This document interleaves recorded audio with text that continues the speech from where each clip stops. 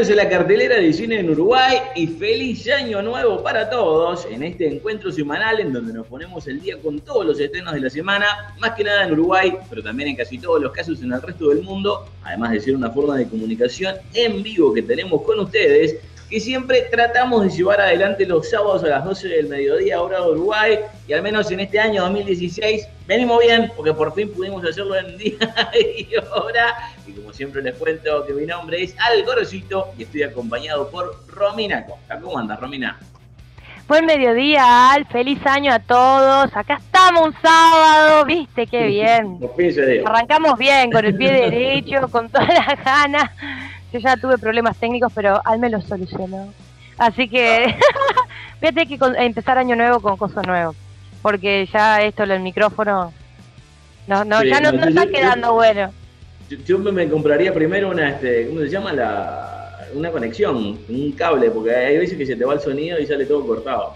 Ah, bueno, cuando tenga arreglado, espero este año abajo mi estudio como el tuyo, este me voy a comprar un micrófono de esos, como los que tenés vos, súper potentes, y me puedo echar para atrás. No, yo no tengo micrófono súper potente, tengo este, este de, la, la cámara, la, la, cámara web que tiene el micrófono.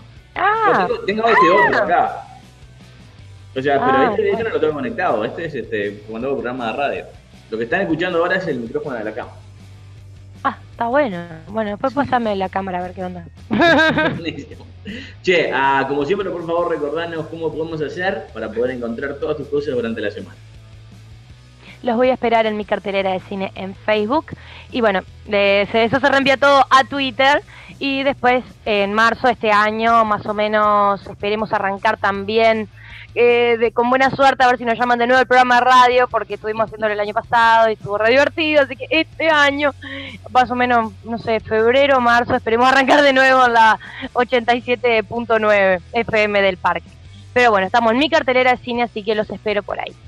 Bueno, en nuestro caso, se pueden pasar por gorositos.tv, donde van a encontrar todas las cosas relacionadas a nuestro programa de televisión y radio sobre el mundo del cine, del que nos queda un solo episodio esta temporada. Así que estamos a punto de empezar las vacaciones. Además de facebook.com diagonal TV, donde en estas vacaciones seguiremos regalando cosas con el vale de mil pesos en Guanama, que tiene ropa tanto para hombres como para mujeres. Así que sigan yéndose por ahí que eh, ello y cualquier otra cosa que consigamos para sortear serán los primeros en enterarse en el caso de que le den un me gusta al grupo. Y si te parece, empezamos de una con esta larga cartelera de principio de año. El primer estreno de la semana es Steve Jobs, ubicada entre bastidores en los minutos previos a tres lanzamientos de productos icónicos a lo largo de la carrera Steve Jobs, comenzando con la Macintosh del 84 y terminando con la revelación de la iMac en el 98, esta biografía cinematográfica nos lleva detrás de la escena de la revolución digital para trazar un retrato íntimo de un hombre brillante y complejo.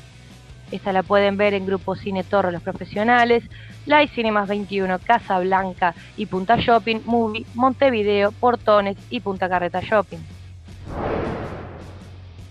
Snoopy Charlie Brown, Peanuts, la película. Charlie Brown, Snoopy, Lucy, Linus y el resto de la pandilla de Peanuts hace su debut en la pantalla grande. Charlie Brown, el perdedor más querido del mundo, se embarca en una búsqueda épica y heroica mientras su mejor amigo, el adorable Beagle Snoopy, toma los cielos para perseguir a su archienemigo, el varón rojo, porque cada perdedor y su perro tienen un día triunfal.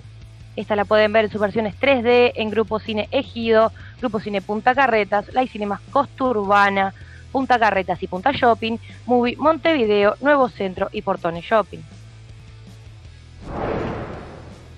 La gran apuesta.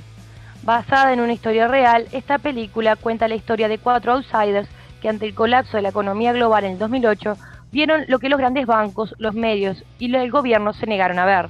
Entonces tuvieron una gran idea, apostar en grande y en contra. Su atrevida inversión los llevó a ver el lado oscuro de la banca moderna, donde debieron de cuestionarse todo y a todos. Esta la pueden ver en Grupo Cine Punta Carretas, Light Cinemas, Alfa Beta y Punta Shopping y en el Movie Punta Carreta Shopping. Los ocho más odiados. Algunos años antes de la Guerra Civil Norteamericana, un grupo de personas muy singulares, que incluye a un cazador de recompensas, su prisionera y un ex soldado confederado, busca refugio durante una tormenta de nieve en las ventosas llanuras de Wyoming. A medida que la tormenta se intensifica, la tensión entre los ocho viajeros va en aumento. Es posible que, después de todo, nunca lleguen a destino. Es la última película de Tarantino, la octava, y la vamos a ver es en Grupo Cine Ejido, eh, Live Cinemas Alfabeta, Punta Shopping y en Movie Montevideo. En el corazón del mar, es el invierno de 1820. El Essex, embarcación originaria de Nueva Inglaterra, sufrió el ataque de algo que nadie podía creer. Una ballena de proporciones y temperamento descomunales, además de un sentido de venganza casi humano, este desastre marítimo inspiró la novela Moby Dick de Herman Melville, pero solo una parte de la historia fue contada. Y esta la pueden ver en 3D, 2D, inglés y doblada al español en Grupo Cinegido, Punta Carretas, Ciñeris Rivera, La Cinemas Costa Urbana, Punta Shopping, Movie Montevideo, Nuevo Centro, Portones y Punta Carreta Shopping. Paquetín, y la primera película de esta semana es Steve Jobs, una que fue media rara cuando se lanzó porque lo hizo en forma muy limitada en Estados Unidos, siendo un éxito rotundo en esa primera o segunda semana, al estilo de todas las cosas que, pasan, que están asociadas con Apple, en donde se hacen cola para poder acceder a ellas. Pero después lo terminaron extendiendo a nivel nacional en Estados Unidos y prácticamente al día de hoy, gracias a ello, o por eso, está calificando como un fracaso y como que venía escuchando tanto de esta película y de todos sus problemas con cambio de directores, de reparto y todo eso, que la verdad que no le tenía mucha fe cuando la fui a ver.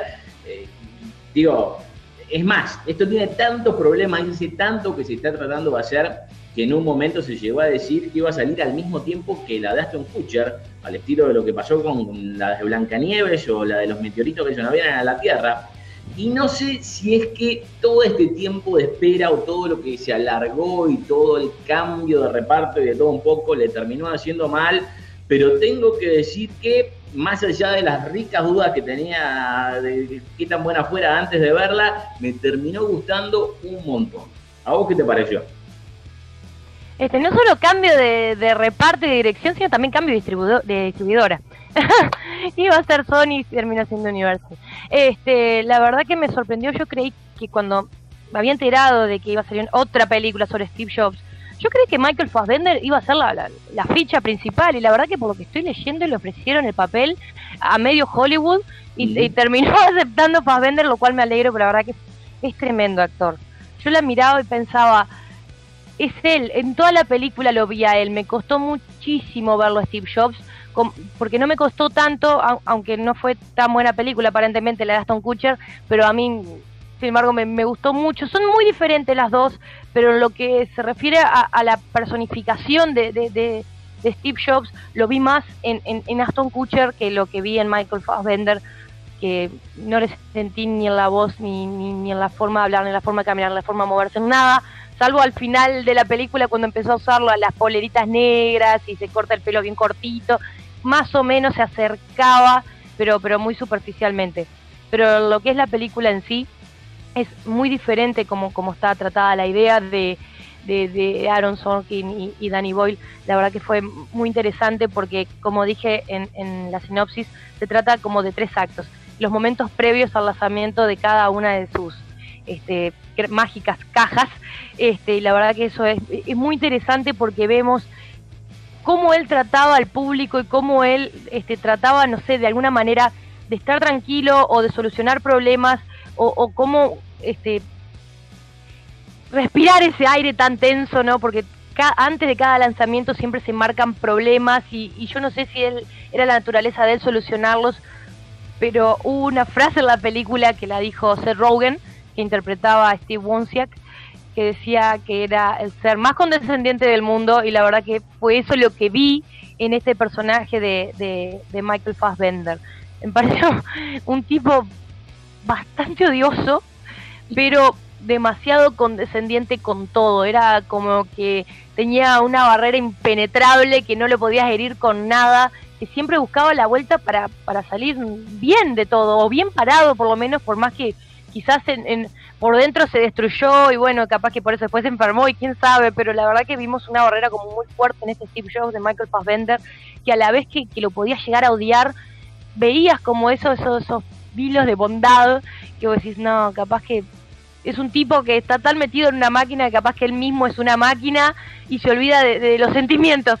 Este, pero está muy bien hecha y es como que llega a un final que uno quiera o no logra de alguna manera emocionarte. La verdad que yo la iba mirando con mucha atención pensando, no podría haber sido así, qué horrible que estén haciendo tanta película autobiográfica de esta persona como para que lo odien pero a la vez tenía esas acciones como que te llegan y, por más que toda la película haya sido malo, con, un buen final es como que toda la figura de él se, se trastoca y bueno, si quieren lo pueden comprobar porque en, en todos los, artículos que uno puede leer de él van a hablar lo mismo y, en esta película como está la relación con, esa primera hija, este, creo que eso es lo que le da el aspecto tierno a la película, si no tendría que ser como una película anti-Steve Jobs que se creía la máquina y no persona.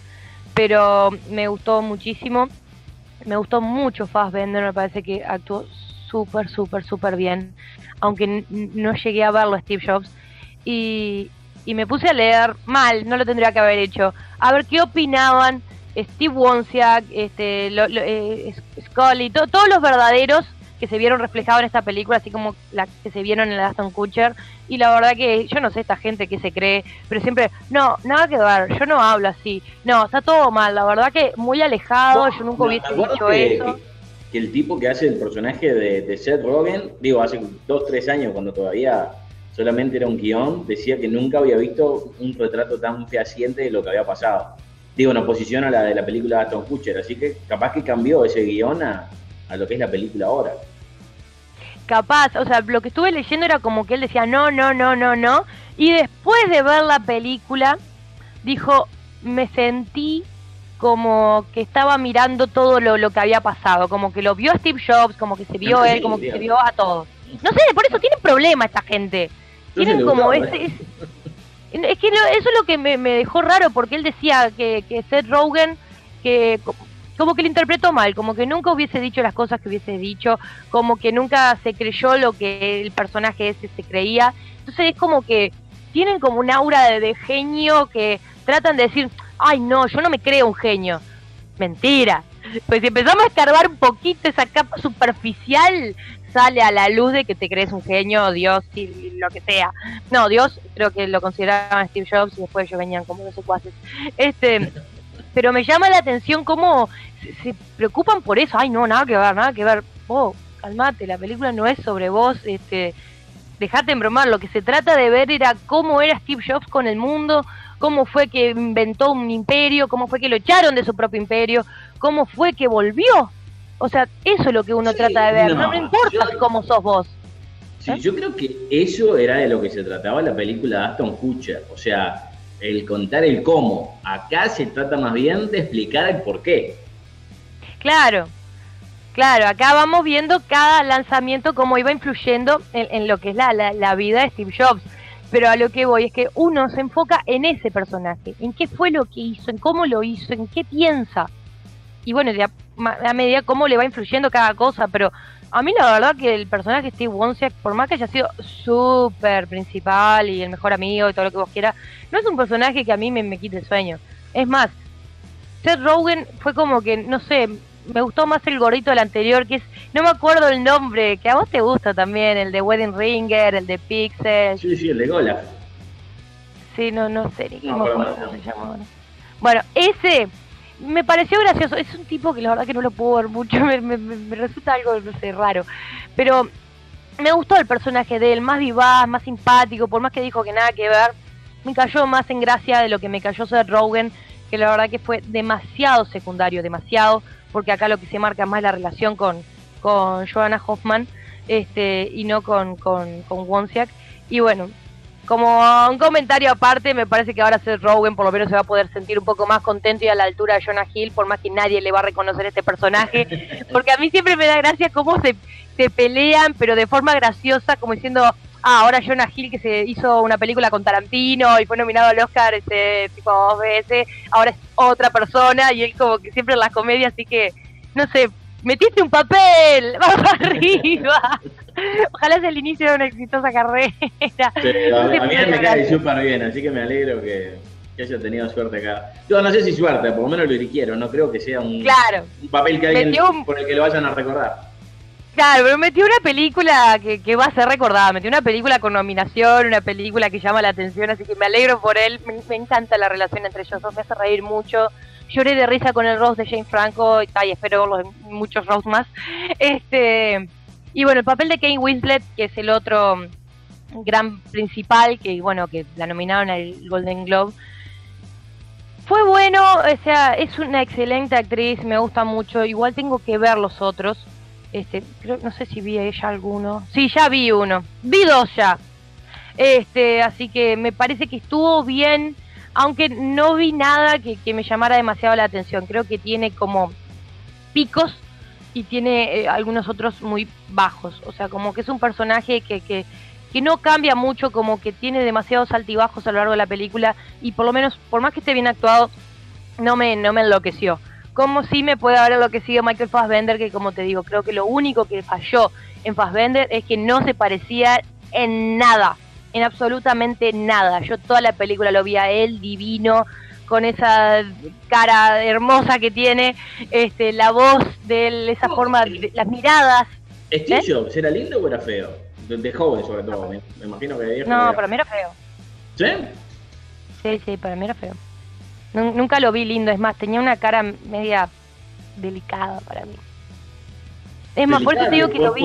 hace poco vi el documental este Steve Jobs de Man in the Machine, una cosa así. Y como ahí cuando la, cuando la mujer que, que, aparece acá, o sea, en la vida real, habla de él y se habla como que era tipo un Don Juan y que era muy lindo.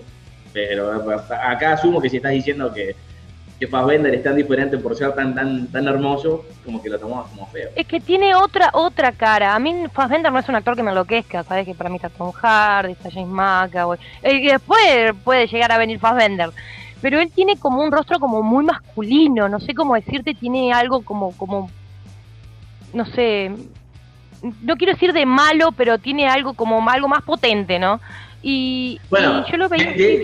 si viste Jane, tiene algo bien potente.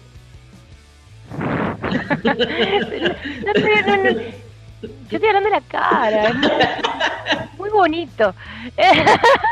Como este.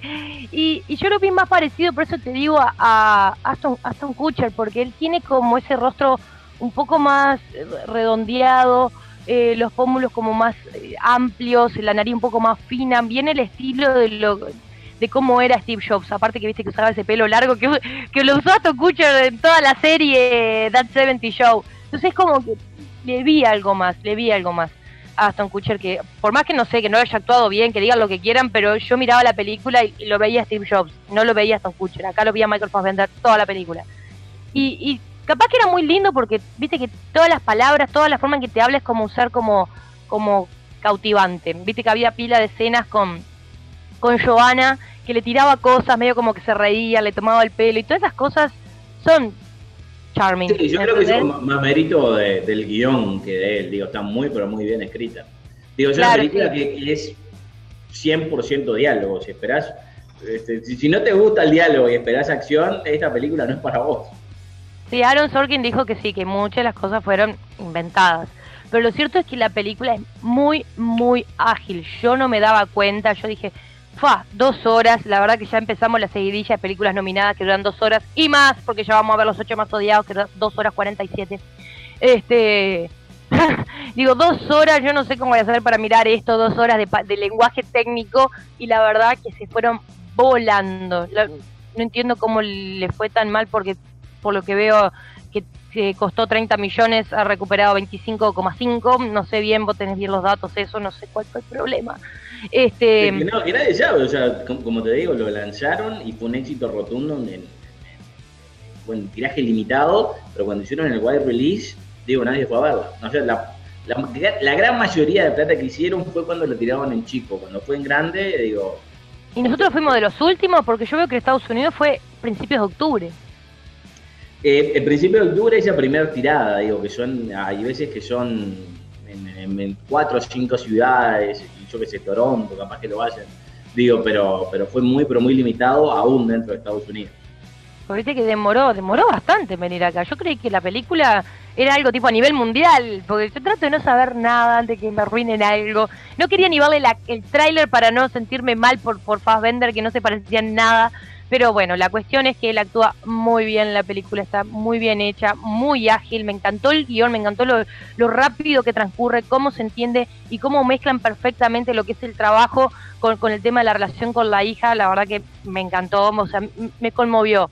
A la vez que lo odiaba, me conmovía. Y bueno, y, el final es el típico que mirás y te acomodas un poquito y después seguís.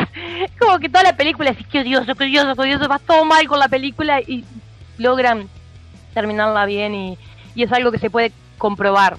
Porque la relación con la hija es algo que mucha gente lo ha escrito, ella misma ha hablado, así que todo eso bueno que uno ve de, de Steve Jobs fue verdad. Así que este para mí fue, fue una muy buena película que me, sorprendió bastante porque no esperaba mucho, aunque obviamente esperaba todo de Fassbender por su capacidad este actoral, pero no de la película en su conjunto.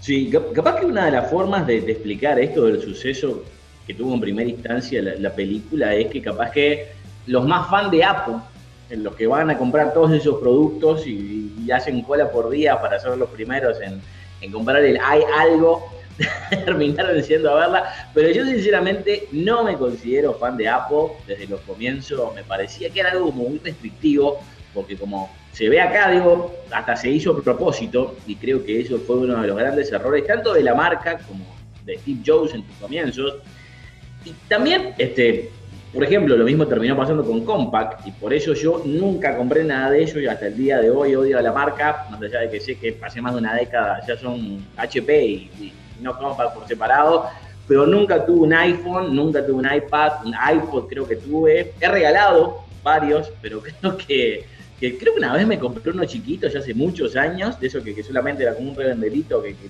te lo ponías así para correr, pero este, a, mí siempre me quedó ese recuerdo de, los problemas de compatibilidad y los altos costos que tenían estas computadoras. Y la verdad que, por eso, más allá de que admiré la compañía y a Steve Jobs, nunca me interesó comprar un producto de ellos.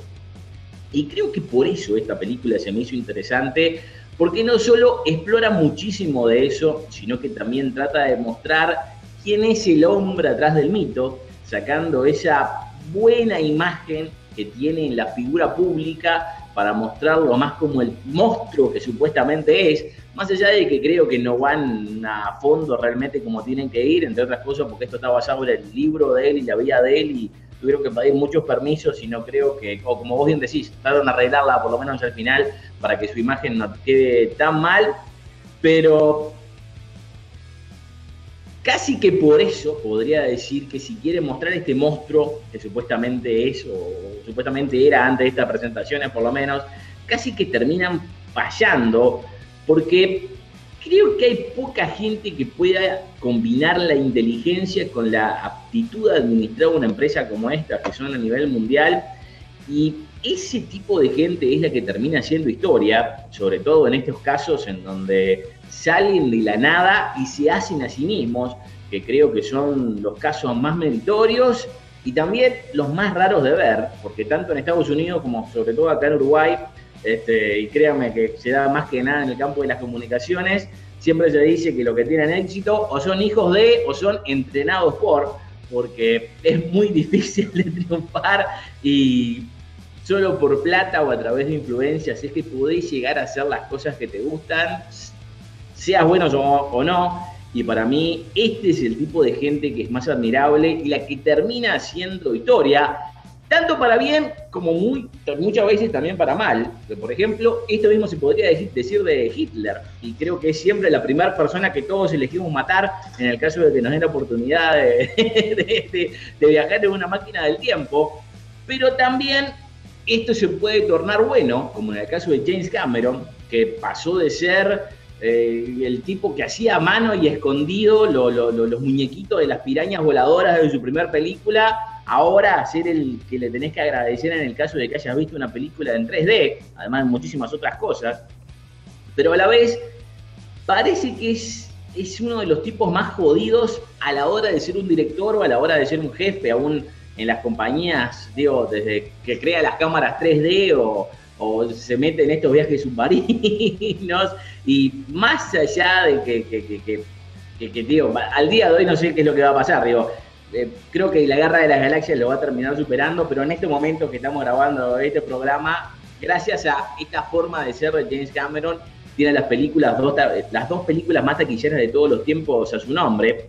Y creo que acá se está mostrando también ese lado de Steve Jobs con algo que yo consideraba, o a través de algo que yo consideraba casi que un handicap autoimpuesto, porque esta idea de los tres actos de la película, que, que se contaran justo antes de las presentaciones más importantes, me parecía que era casi imposible que funcionara, más que nada porque no sé qué tan realista se puede terminar haciendo esto, aún si han admitido que muchas de las cosas son inventadas, pero prácticamente que desde ese punto de vista no solamente falla, sino que se nota que todo esto es inventado o se hace menos creíble, porque esto de cruzarse con las mismas personas para, para mostrar la evolución de, de las situaciones en cada uno de los tres actos y justo antes de las de las tres situaciones que se enfrenta, la verdad que es bastante difícil de creer que, digo, que todo pase en ese momento y él no se decida dejar todo lo otro para atrás para simplemente meterse en la presentación que tiene que hacer en ese momento, que es lo que yo esperaría de Steve Jobs, que se olvide del mundo y se preocupe de lo que tiene que hacer, pero capaz que esto que podría llegar a ser un problema, también hay que decir que está resuelto de la mejor manera posible de la mano de un escritor que, es experto en diálogos, a la vez de que él te lleva de la mano de esta historia que creo que es más interesante, que como dije, depende muchísimo del diálogo y no hay prácticamente acción, más allá de que tiene una edición bastante ágil, lo cual la puede tornar bastante entretenida, pero básicamente todo lo que pasa son intercambios de palabras. Así que si no te gusta eso, esta película no es para vos, porque casi que, que, es la antítesis de lo que terminó pasando con Aston Kutcher, porque como dije, capaz que en Aston Kutcher, la, versión de Aston Kutcher, tratan de explicar el cómo él se terminó haciendo, contando sus orígenes en el famoso garage al final de su vida, pero acá creo que tratan de responder el por qué él era así, de una manera que, tengo que asumir que es bastante user-friendly, o por lo menos más de lo que pasó en la vida real, porque acá se muestran chispazos de actitudes que tendría que tener alguien como él, que tendría que ser más despótico, no sé si despótico es la palabra, pero tendría que ser más mano firme, pero de todas formas, este, aun cuando aplica eso, llegás a comprenderlo y aun cuando, cuando puede que sea un fracaso, esos sistemas, la película termina redimiéndolo más adelante para darle la razón. Eh, que no sé si es una mejor manera de contar la historia en contraposición de la Aston Kutcher, pero definitivamente son sé la misma historia, pero contada de dos formas diferentes, lo que creo que la hace volver más original y, digo, no sé si la hace más realista, mostrando este monstruo que, supuestamente era, pero creo que termina siendo entretenida. En el único caso que esto no se toma así, yo creo, la única diferencia que tiene en el tratamiento con alguno de los personajes es con la relación con la hija, pero creo que simplemente se hace para tener una conexión más grande con el público, porque creo que a ella la trata de una manera especial y a todos los otros de otra, que uno diría que está bien o está mal, pero para mí va más allá de eso, creo que que esta diferencia tiene que ser lógica porque una, aún lo quiera o no, es la hija y los otros son empleados y la forma en que los trata es posiblemente la única en la que una persona que sigue a este nivel puede tratar a la gente que está abajo de él. Que es algo que tengo que decir que yo personalmente admiro que alguien pueda hacerlo y he tenido la oportunidad de ver de primera mano a mucha gente que se comporta así y se termina ganando el odio de sus empleados pero a la vez hay que admitir que eso termina convirtiéndolos en, ejemplos de suceso en, sus carreras. Por lo que no sé hasta qué cierto punto pueda llegar a tildarse de malo. O sea, es claro que, sería mucho mejor que hubiera un balance entre ser una buena persona y ser exitoso, pero no puedo culpar a alguien de que sea así si termina siendo exitoso. Y creo que con la hija capaz que es diferente y por eso cada uno lo va a juzgar por su lado.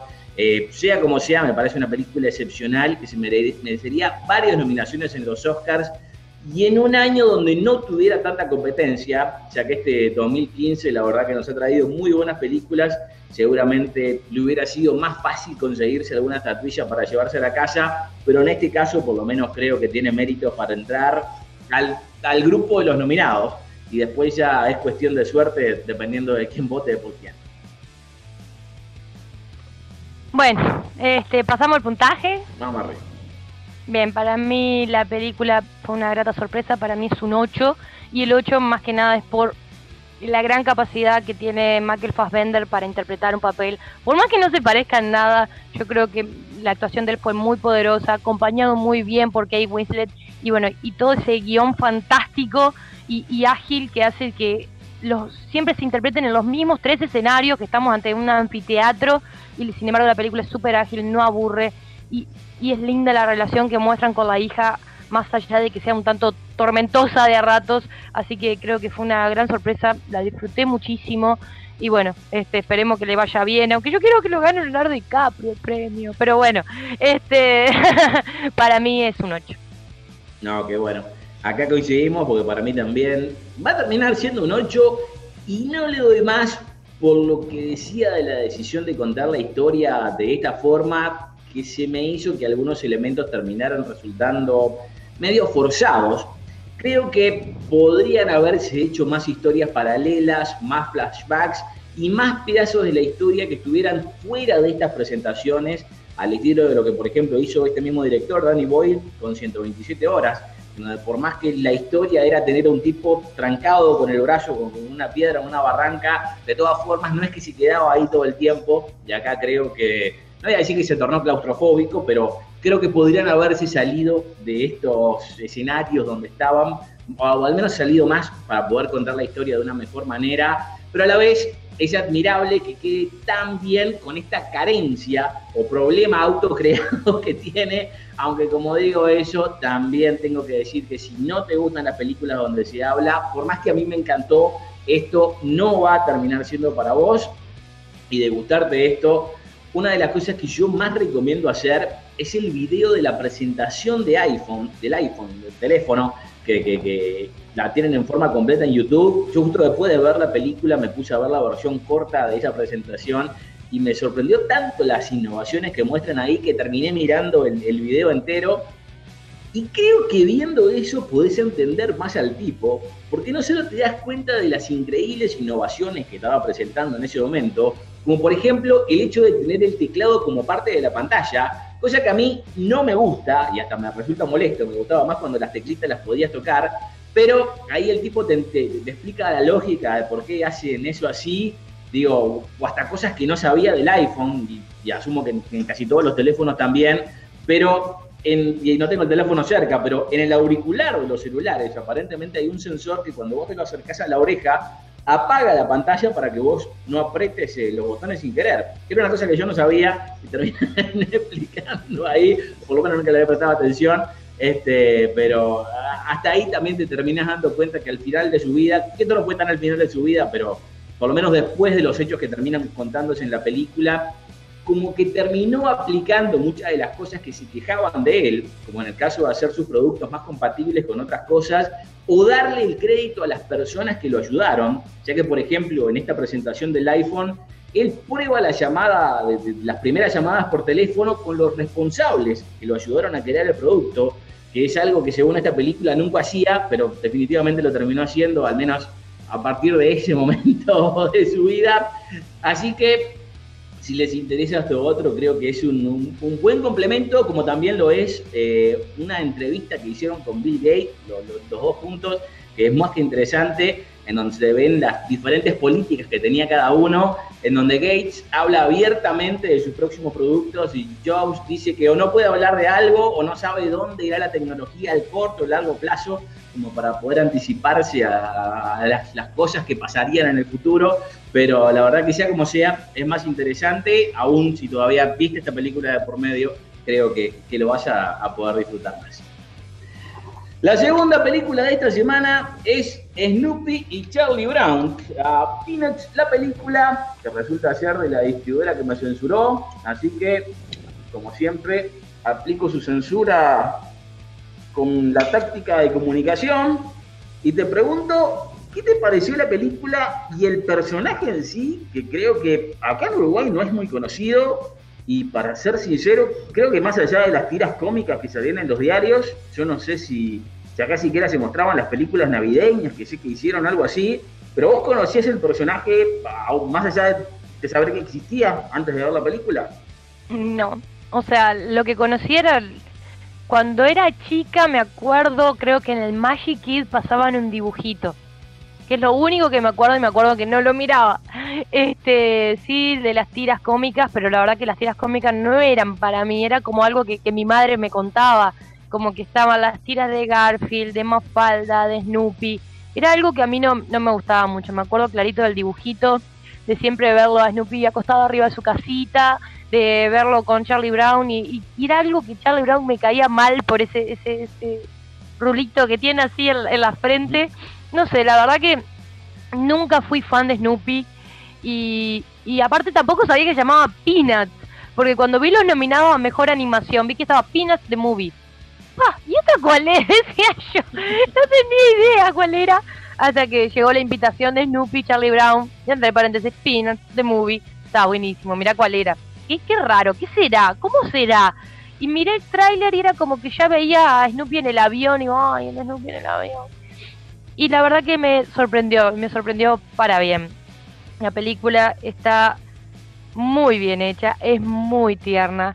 Este, aparte tiene una banda sonora como muy linda, está el tema de Megan Trainor, I'm Better When I'm Dancing, que la verdad que es muy lindo, te llena de alegría ahora en, Navidad y en Año Nuevo, pasé poniendo el clip una y otra vez, porque la verdad que es muy divertida, la canción es muy es tierna, no sé cómo decirte, tan tierna como la película, que me hizo acordar mucho a lo que vimos en John el Cordero, esa, esa animación de stop motion de Europa, británica, este que la verdad que tienen esas enseñanzas, tienen esos valores, es como que la película no tiene esas grandes cosas cómicas que uno espera de una animación ni esos chistes como para adultos, sino que es enteramente para niños y te enseña mucho, sensibiliza de alguna manera. Se trata... Una pregunta que, siempre tuve de esto es si, Snoopy o Peanuts era como la mafalda americana. O sea, ¿hay algún tipo de enseñanza o crítica social o es simplemente este entretenimiento para niños en donde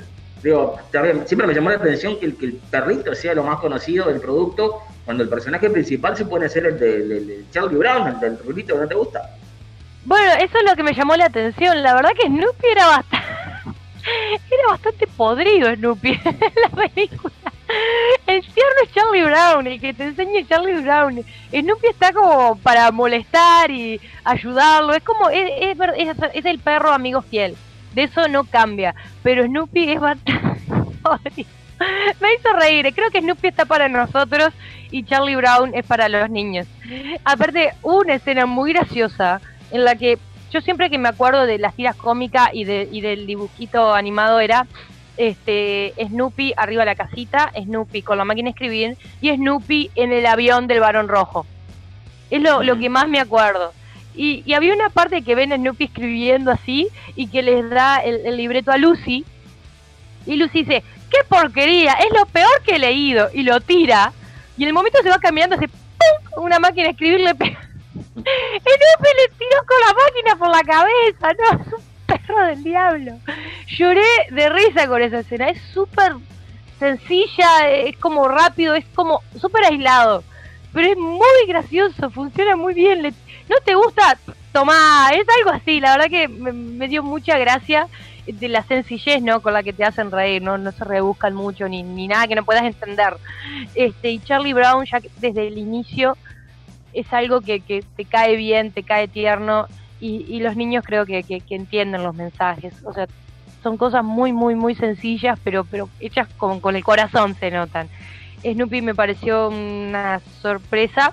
Nunca me imaginé que, que este dibujito me fuera a gustar, algo que le estuve escapando toda mi infancia, cada vez que veía que venía Snoopy, pimba, cambiaba.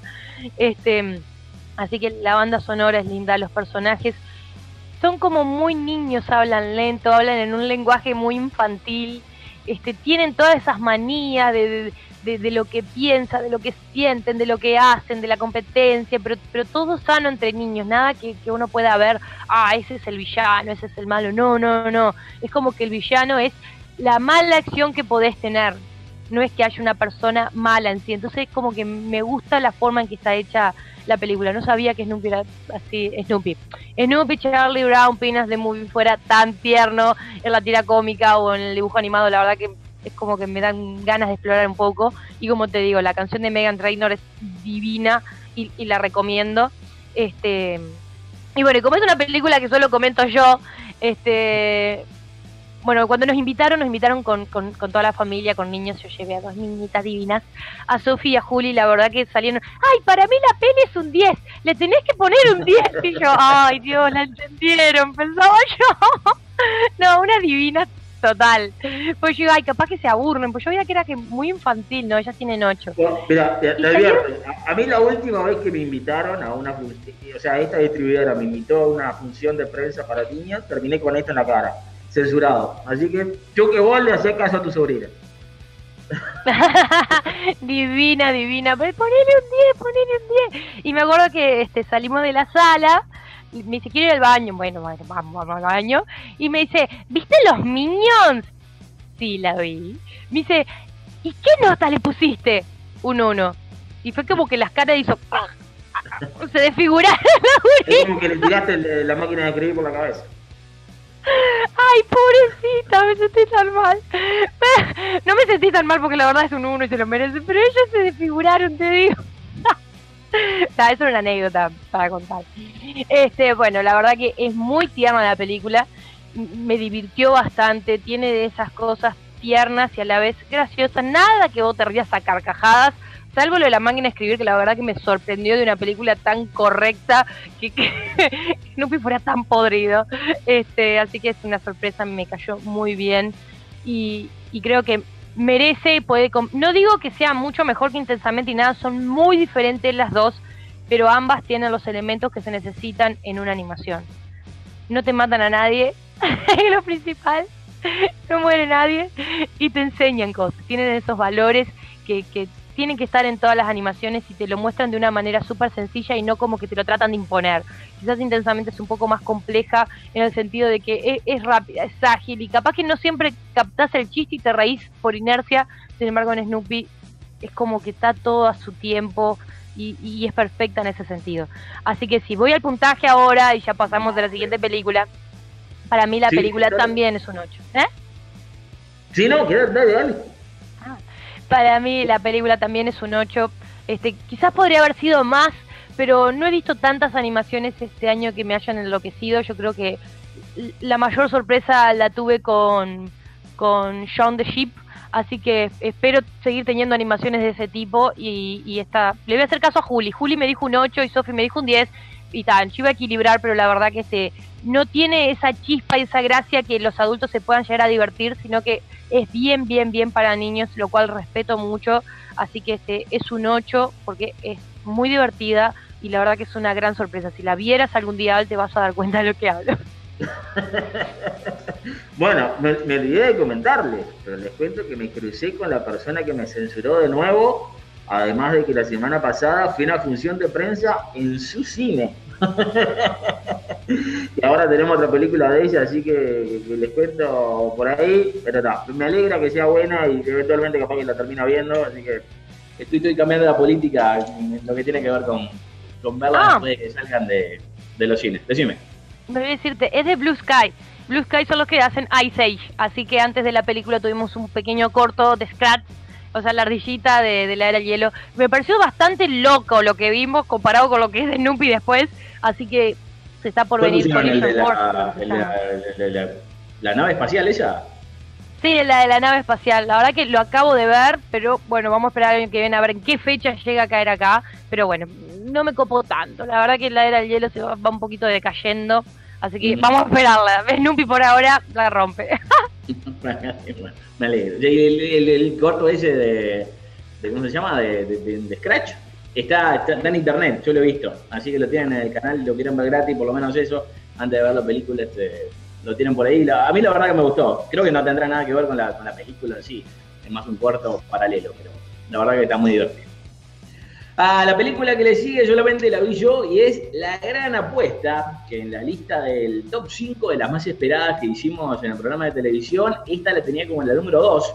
No solo porque pintaba muy pero muy bien, sino porque yo estuve metido en este mundo en el momento histórico que, que pasaron las cosas que se muestran acá, porque vivía en Estados Unidos y era un real estate appraiser, o sea, el, el tasador de casas, el que decía cuánto valían, además de que también me había metido en Forex, que es el, intercambio de, divisas, que son cosas que están relacionadas bastante a lo que tiene que ver con esta historia, que se me hizo más que interesante, aunque tengo que decir que, yo la disfruté porque sabía de lo que estaban hablando y no sé si alguien que no tenga una idea mínima de lo que pasó puede llegar a comprender. Eh, y creo que esa fue tu duda a la hora de verla, ¿no? El hecho de que, no si, si, ibas a poder captar todas las ideas y, medio que por eso no la viste, ¿no? Sí, o sea, es como que preciso que me la hagan en, slow motion. que me, me, la pase toda lenta la película porque, claro, yo me pierdo. Yo te contaba que cuando vi aquella película de Zachary Quinto y y ¿cómo se llama este? Jeremy Irons, también me, me costó muchísimo entender, porque es, sobre es la misma época, es el 2008. Y me costó... Claro, esto vendría a ser como, el final de esa película, o sea, ves esta película y eso es lo que le sigue. Aparentemente hay ah. una que se llama este 99 Homes, con, este, con Andrew Garfield, que todavía no la vi, pero vendría a ser como, como paralela a esta, pero desde el punto de vista de los pobres. ¿Es, la, es que es Andrew Garfield y Michael Shannon? Sí. Ah, mirá, ese, a Michael no creo que lo nominaron o estaba por ahí, o creo que creo que lo nominaron o estaba por ahí, sí, dicen que es bueno, no sabía de qué se 99 Homes no sabía de qué se trataba, mirá vos. Sí, sí, sí. Bueno, hablando de la dificultad de esta película, yo creo que que sí, o sea, que creo que el tema ya es complicado para hacérselo entender al público porque la mayoría de la gente creo que no sabe de qué es lo que se habla acá. Digo, es más, hasta uno puede que, haya perdido la, casa que tenía en esto de la crisis hipotecaria y aún así no tengas la mínima idea de por qué terminó dándose todo esto, o como se muestra acá que mucha gente capaz que le estaba alquilando a alguien que, no, estaba pagando su hipoteca y de todas formas le costaba la renta y se quedó sin nada, que fue un caso, pero que yo vi por todos lados en, en esos años que estaba viviendo por allá, digo, por el simple hecho de que había gente que terminó pagando 400 mil dólares por una casa y le debía 400 mil dólares al banco y dos años después su casa valía 200 mil dólares o menos. Lo que quería decir que si la vendía al, valor del mercado, que era 200 mil dólares, de todas formas le estaba debiendo 50% del costo a la casa. Y al saber esto, creo que, que tratan de hacer cosas más entendibles a la Deadpool, hablándole directamente al público, rompiendo la, barrera, esa, la cuarta pared que se le llaman, con cosas como lo de Margot Robbie, en donde está Jamie desnudo en una bañera, este, explicándote algunos de estos conceptos económicos, cosa que no sé si logran que, la gente entienda, porque creo que te distrae verla así más de lo que, que te tratan de explicar, por más que tengo que decir que a mí me terminó distrayendo más en ese caso o sea, por supuesto, la tipa está buenísima y, ojalá hubiera menos burbuja en la bañera. Pero creo que la forma tan vulgar en la que habla es, es, algo que, me hizo que no me gustara ella por algún motivo. Digo, me pasa con todas las tipas que, hablan vulgarmente. Pero con ella como que, se te cae la imagen tan linda que tenés, como que, esperás que, que, sean, que, hablen lindo aparte de ser lindas, pero creo que esta dificultad para poder explicar lo que pasó termina siendo el, talón de Aquiles consciente que tiene la película, el cual una y otra vez tratan de saltar de la mejor manera posible, pero creo que es necesario tener una mínima idea de saber qué es lo que pasó para poder comprenderlo como se debe, porque si no, es como si un tercio de la película la estén hablando en chino y no haya subtítulos. Lo que creo que en una de esas puedes entender, o al menos captar, por la intención de la expresividad que ponen los actores, pero más allá de ese elemento creo que no vas a poder descifrar todo lo que se dice y no vas a poder entender todas las palabras que, se están diciendo. Digo, que por ejemplo, a mí eso también me pasa con, las películas que hacen de Shakespeare, en donde hablan en un inglés antiguo y usan términos e ideas que ya están pasados de moda hasta en inglés. Y digo, capaz que agarrás la idea, pero no entendés todas las palabras que se están diciendo, más que gente como nosotros, que, tenemos el, inglés como segundo idioma.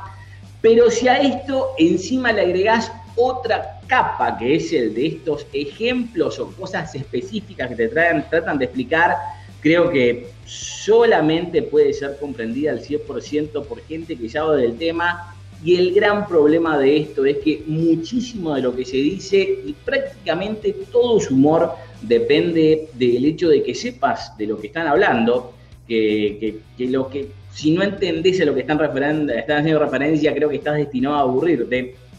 Y para darte un ejemplo, este, es como si acá en Uruguay hicieran una película de hinchas de Nacional y de Peñarol y solo hablaran en términos de los que se refieren a sí mismos los barra brava y si bien los que están dentro de la barra brava van a entender todo el lenguaje que están usando, hay gente que no va a tener la mínima idea de lo que están diciendo. Y si bien, digo, siendo uruguayo, capaz que vas a entender lo del quinquenio o lo de los 8 contra 11, digo, sin más explicación que eso, no te tienen que decir cuándo fue el quinquenio o qué quiere decir el 8 contra 11, pero no creo que alguien que no sea uruguayo pueda entender qué es lo que está pasando. De la misma forma que en Uruguay no entenderíamos los códigos propios de Olimpia y Cerro Porteño, que son los dos grandes cuadros de, Paraguay, que Digo, definitivamente también tienen sus propios ejemplos que nosotros, en el caso de que hagan una película al respecto, no entenderíamos. Y sabiendo que esto es una producción de Hollywood y teniendo que, que, apelar a que le gusta a la gente de todo el mundo, se esmeran por explicar qué es lo que pasó. Y digo, hacen lo mejor que pueden con lo que tienen, pero no sé si es siquiera posible explicarlo del todo. Y esto es hablando en una película. Ni se me ocurre de qué forma esto fue explicado en el libro, de que, lo terminaron basando, porque creo que la única forma de, que la gente lo comprenda es haciendo dibujitos. Digo, no leí el libro y no sé si tiene dibujitos o no, pero creo que solamente con figuras se puede hablar, porque con letras creo que es prácticamente imposible de entender. Este, lo que, digo, lo que acá hacen, más allá de lo complejo, termina siendo admirable, eh, a, la vez de que es algo que mismo los uruguayos o los mercados más chicos, capaz que tendríamos que aprender a la hora de hacer nuestros productos, porque es algo que yo a veces le critico a algunas películas uruguayas o algunas películas que, son de, de, países sudamericanos, en donde o sobre todo también cosas asiáticas, en donde no se dan cuenta que la película no solamente se hace para su país, sino que tiene que alcanzar a ser entendida por todo el mundo y no limitarse solamente al mercado donde son producidas. Este, y por eso tengo dudas de que qué hacer a la hora de recomendar esta película o no, porque a mí me encantó, pero no puedo dejar de tomar en cuenta que estos elementos son realmente complejos para la mayoría de las personas que, digo, que en realidad es lo mismo que voy a decir a la hora de hablar ocho, de, ocho apellidos catalanes, que, es la película que, vamos a contar, la, la, vi en la función de prensa hace poco, no sé cuándo se estrenará, pero que también sufre el mismo problema y digo, creo que sabiendo eso, este, basaron la campaña más en lo que tenía que ver con sus estrellas, que definitivamente son un montón y de mucho renombre, pero no se las presentaron de la forma que, que, aparece en el tráiler. Yo sé que vos no ves muchos trailers, pero ¿este lo viste? Sí, lo vi. Lo, tuve que ver porque en, las últimas funciones que he ido siempre está. Y lo único que ya saqué en claro es que, es raro que está Ryan Gosling. Bueno, está, eso es una cosa, digo, pero ¿Viste la escena en donde todo el reparto se junta? Sí, están juntos la mayoría del, del tráiler, me parece. Listo. Bueno, eso no existe. Que siempre están como, no sé, unos parados, otros sentados, sentados arriba de la mesa, todos hablando, sí, claro, pero Eso no pasa, eso no pasa. O sea, yo le subo todos los materiales promocionales a la página de, desde hollywood.com y una de las cosas que siempre hago cuando subo un trailer o algo así es buscar una foto diferente para hacer más variados los posts. Pero algo que me sorprendía era que no encontraba una foto de todo el reparto completo. Y eso es porque nunca están todos juntos, porque esto no son una historia de todos ellos, sino que son tres historias paralelas que se tratan al mismo tiempo. Este, digo, porque básicamente son tres grupos de personas que se dan cuenta de lo mismo y, y hacen las cosas por su lado, pero nunca se encuentran entre sí. Lo que me parece súper engañoso a la hora de promoverla, porque si uno ve el tráiler, Brad Pitt aparece relacionado en la, o reaccionando a los comentarios de Melissa Leo, lo que también pasa con el chiste de Ryan Gosling, en donde Christian Bale parece que está sentado en esa misma mesa y que Brad Pitt se está riendo del chiste del cuñado, pero esos personajes nunca se cruzan entre sí, ni se conocen, digo, más allá del nombre entre ellos. Digo, además de otros problemas que, que ocultan. Por ejemplo, y esto de tener que mirar los materiales promocionales este, y, estar tan entusiasmado con la película me hizo que, estuviera familiarizado con lo que iba a ver. Pero la primera nota, yo me llevo esto para hacer notas en, el cine, a ver si se llega a ver cuál es la, primera nota que pongo ahí. A ver. Oh, no, ni idea. Dice no, no se lee porque no te entiendo la letra. Sí, no, bueno, mi letra. Tenía que leerle los escritos a los profesores. Pero la primera nota que hago y, que la taché es Ojo de Christian Bale. ¿Por qué? Ah, porque. No sé. No sé, está raro Christian Bale. No me gusta. Bueno, yo vi todos los materiales promocionales y, y una de las cosas que más me llamó la atención es que se le veía raro el ojo en esos primeros dos o tres minutos y, en realidad es con la explicación que empieza la película, porque el personaje de él tiene un ojo de vidrio, que es muy notorio en toda la película, pero no se ve en ninguno de los materiales promocionales. O sea, siempre, si ustedes ahora vayan a ver el trailer y van a ver que siempre lo agarran del lado correcto para que no se lo vea, como que está haciendo una mueca así para poder disimularlo.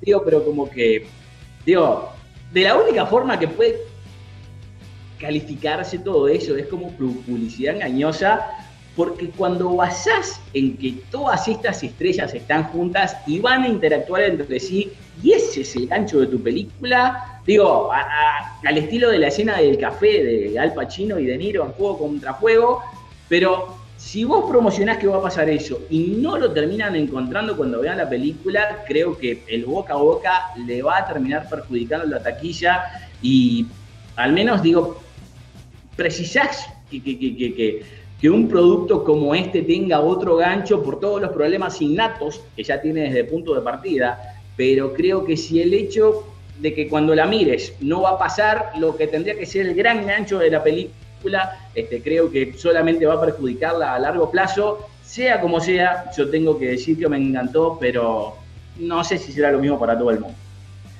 Uh, ¿Paso el puntaje? Dale. Ok, vamos. Para mí es un 8 y tengo que recalcar que es para mí.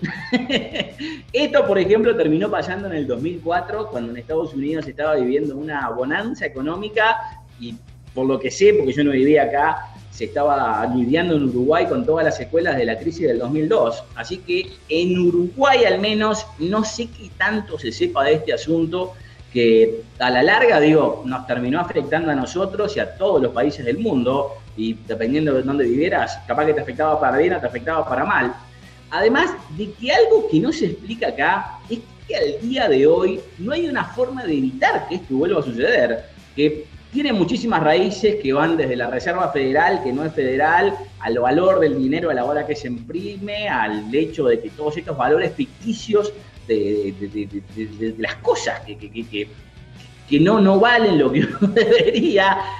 y es más, yo estoy casi seguro que esto no sé si será una de las ideas del personaje en la vida real que interpreta eh, Christian Bale, pero el último dato que se pone en la película es que la inversión que hace el personaje de Christian Bale, que es un, este, un visionario supuestamente de todas estas cosas económicas, es que va a invertir en el agua. Eh, digo, y, yo no sé si esto es algo que él hace a su favor, pues casi que como una cosa que puso para poder contar su historia, ya que esta película va a llegar a todo el mundo y al menos miles y miles de personas van a terminar invirtiendo en acciones de agua. Este, que, van a hacer subir el precio de esta comodidad en forma ficticia, que es lo que se está criticando acá. que quiero asumir es más una advertencia a la cual, no sé si es una tomada de pelo, algo satírico, sarcástico, o en realmente, digo, este, están queriendo que suba el valor de algo para después venderlo. Digo, toda la gente que compró acciones de agua hace 4 o 5 años, capaz que ahora daría plata con esto. Voy a asumir que no, pero la verdad que me sorprendió que eso, que eso pasara y creo que esta película, más allá de que que, explica todo lo que pasó, capaz que tiene influencia en el mundo real, hasta por eso, que, capaz que, no termina siendo el agua más cara dentro de poco. Ah, seguimos con la película que para mí calificaba como la más esperada de esta temporada, Los ocho más odiados, y no me pongo esto en honor a nada, para los que están viendo esto por primera vez, sino que la distribuidora de esta película me terminó censurando a principios del año pasado, así que cada vez que, tengo que hablar de estas películas de ellos, este, me pongo esto, que le llamo la táctica de comunicación, que lamentablemente tengo que usar. En realidad, digo, las últimas películas de Tarantino la estaba trayendo otra distribuidora, así que yo la verdad que no anticipé que esta película viniera de manos de ellos, pero bueno, pasó así, así que no pude verla, aunque como sea, les cuento que planeo verla al menos antes de los Oscars, este, haya salido de los cines o no, este, y hay un montón que tengo que, mirar para ponerme al día, entre ellas El Plan, Misión Rescate y Los Cuatro Fantásticos, que me quiero sacar la gana de, bueno, de saber qué tan mal está. Este, o Spy también, que no pude ver, que supuestamente está buenísima. Así que, al fin... ¿Ah? Es divertida, sí. bueno, así que al menos por ahora eh, la decisión es que voy a ver estas películas cuando salgan de cartel, a no ser en casos especiales como este, de, la película de Tarantino, que voy a ver antes de los Oscars, digo, porque Dios mediante, vamos a hacer una transmisión en vivo del evento, que todavía no tengo ni planeado, vamos a ver si sale, pero este...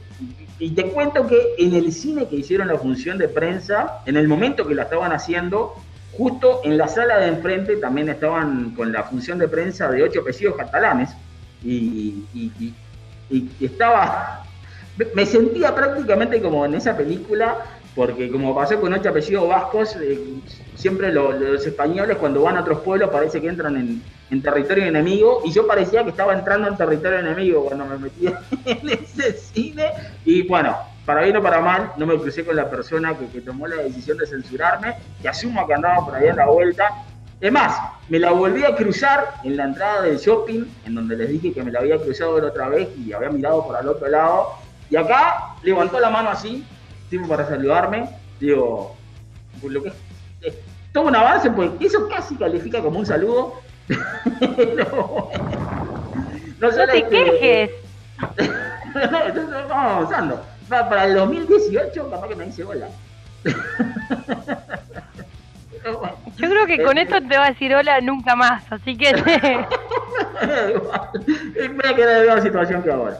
Pero no, eh, le quiero agradecer a Álvaro Caso, este, porque es el de la otra distribuidora que me invitó a la función de prensa eh, y también que me está ayudando con el carnet de prensa de, Daniel Lucas, que, no sé si muchos se acordarán de la cara, este, que era el, el que presentaba la sección de espectáculos en Canal 12, que tuvo unos problemitas de salud y por eso al día de hoy no está al aire, pero yo dos por tres lo voy a visitar y justo ahora le fui a llevar el regalo de Navidad y me dijeron las personas que lo cuidan que, que tenían el carnet de prensa vencido, así que me comuniqué con el señor Álvaro Caso que, que ya me lo tramitó y se comportó como un genio como siempre, así que muchísimas gracias a él y también bueno, por la invitación a, a ver la función de prensa de la película española en, en territorio enemigo. Pero más allá de esto que nada tiene que ver con los ocho más odiados, contanos qué te pareció esta, que supuestamente es la antepenúltima película de Quentin Tarantino. Bueno, ya empieza avisando que es la octava película de Tarantino, tiene, el título también el 8, y bueno, al final, después de verla tuve que empezar a leer porque yo me encontré como en la mitad de lo que dicen la, crítica mundial. Uno dice que es la mejor y otros dicen que sinceramente es la peor. Es una película que se divide en seis capítulos, que yo fácilmente le corto los dos primeros, que creo que esa introducción de personaje hace que la película se vuelva demasiado larga. Recordábamos que dura dos horas 46 minutos, lo cual se hace larguísimo. Y yo creo que si sumamos todo el metraje de las ocho películas Tarantino, creo que en un metraje normal serían más o menos 20 películas. y él hizo 8 nada más. Este, así que este, creo que empezó de una manera como muy lenta. es como que da, da espacio para que uno aprecie esa... No, estoy viendo la primera del Reservoir Dogs y tiene 100 minutos. Una hora 40. Bueno, bueno arrancó bien. Después ya se empezó a... Empezó a mirar los otros metrajes. Yo los voy a sumar después para el próximo programa. Bueno, arranca bien lento, yo creo que lo que hace al principio de ser tan lento y tan callado es de que uno disfrute de la banda sonora de Ennio Morricone, al cual sé que adora y bueno, nuevamente está nominado a los Globos de Oro, este, porque no le veo otro, otro sentido a eso que, que no sea que uno disfrute lo que es la, la banda sonora. Después transcurre de una manera muy lenta y una presentación un tanto abrupta de los personajes, porque se empiezan a presentar de una manera que uno no entiende lo que está pasando, no entiende ni en qué época están, ni, ni, ni, qué es lo que hacen, ni por qué se conocen, nada. Uno no sabe nada, uno lo va sabiendo a medida que transcurre la película y es por eso que este inicio se me hace un tanto largo y, y espeso de alguna manera. Este, empezamos con Kurt Russell, Jennifer Jason Lee, Samuel L. Jackson. Después se van sumando un poquito de estos ocho más odiados. Y recién en el capítulo tercero, cuando entran a, a ese lugar de hospedaje que se ve que cuando van en las diligencias, este, cuando hay mal tiempo, paran en estas estaciones donde uno, bueno, les, da de, comer, les da la cama y bueno, después arrancan de nuevo la diligencia. En una de estas estaciones es donde verdaderamente empieza la película, donde empieza todo ese tema bien tarantino de empezar a desconfiar de los personajes, quién es bueno, quién es malo. Eh, esa forma de sospecha divertida que tiene él, que a la vez que, que te entretiene, es como que te, hace te roba algún par de sonrisas porque no es que sea gracioso, sino que te tensiona de una manera que te hace desconfiar hasta de la sombra de los personajes. Y, me resulta divertido y me gusta ver a todos los actores que se eligieron, porque él lo que dijo que el casting no tenía que haber nadie que resalte más que otro. Tenían que ser todos actores que puedan mantener un nivel y no elegir uno que sea super wow, ganador de 10.000 Oscars, nominado 20 millones de veces. No, no, tenían que ser todos más o menos a la par. Entonces creo que eso estuvo muy bien. Ahora, yo me arruiné un poquito la película, lamentablemente, por mirar el programa ese nocturno de Jimmy Fallon, ver la entrevista con Channing Tatum. Todo por ver a Channing Tatum. Me arruiné eh, la sorpresa de la película. Así que no, no miren este, el, programa con Jimmy Fallon. Aguántense, chicas. Este, porque estuve esperando esa escena toda la película. Bueno, la cuestión es que uno ya una ve Tarantino y espera verlo a Christoph Waltz, que la verdad que es un actor que lo conocimos gracias a él y que adoramos gracias a él y que le debe la carrera a Tarantino. Y en este caso no estuvo, pero es como que su aura y su espíritu se mantuvo muy presente. Estamos hablando de Tim Roth. Ese actor, la verdad, que si uno, este, bueno, si yo me sacaba los lentes, creo que la única manera de darme cuenta que no era él era por la voz, porque los ademanes, eh, el look del personaje, la forma de hablar, la forma de mirar, todo era Christoph Waltz.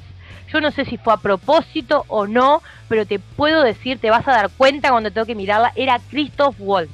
Y me puse a buscar en todas las críticas, yo no puedo ser la única que se haya dado cuenta de esto, empecé a mirar y es como que de alguna manera lo aplauden diciendo de que él hizo un papel muy similar a lo que hacía Christoph Waltz y por eso lo hizo bien.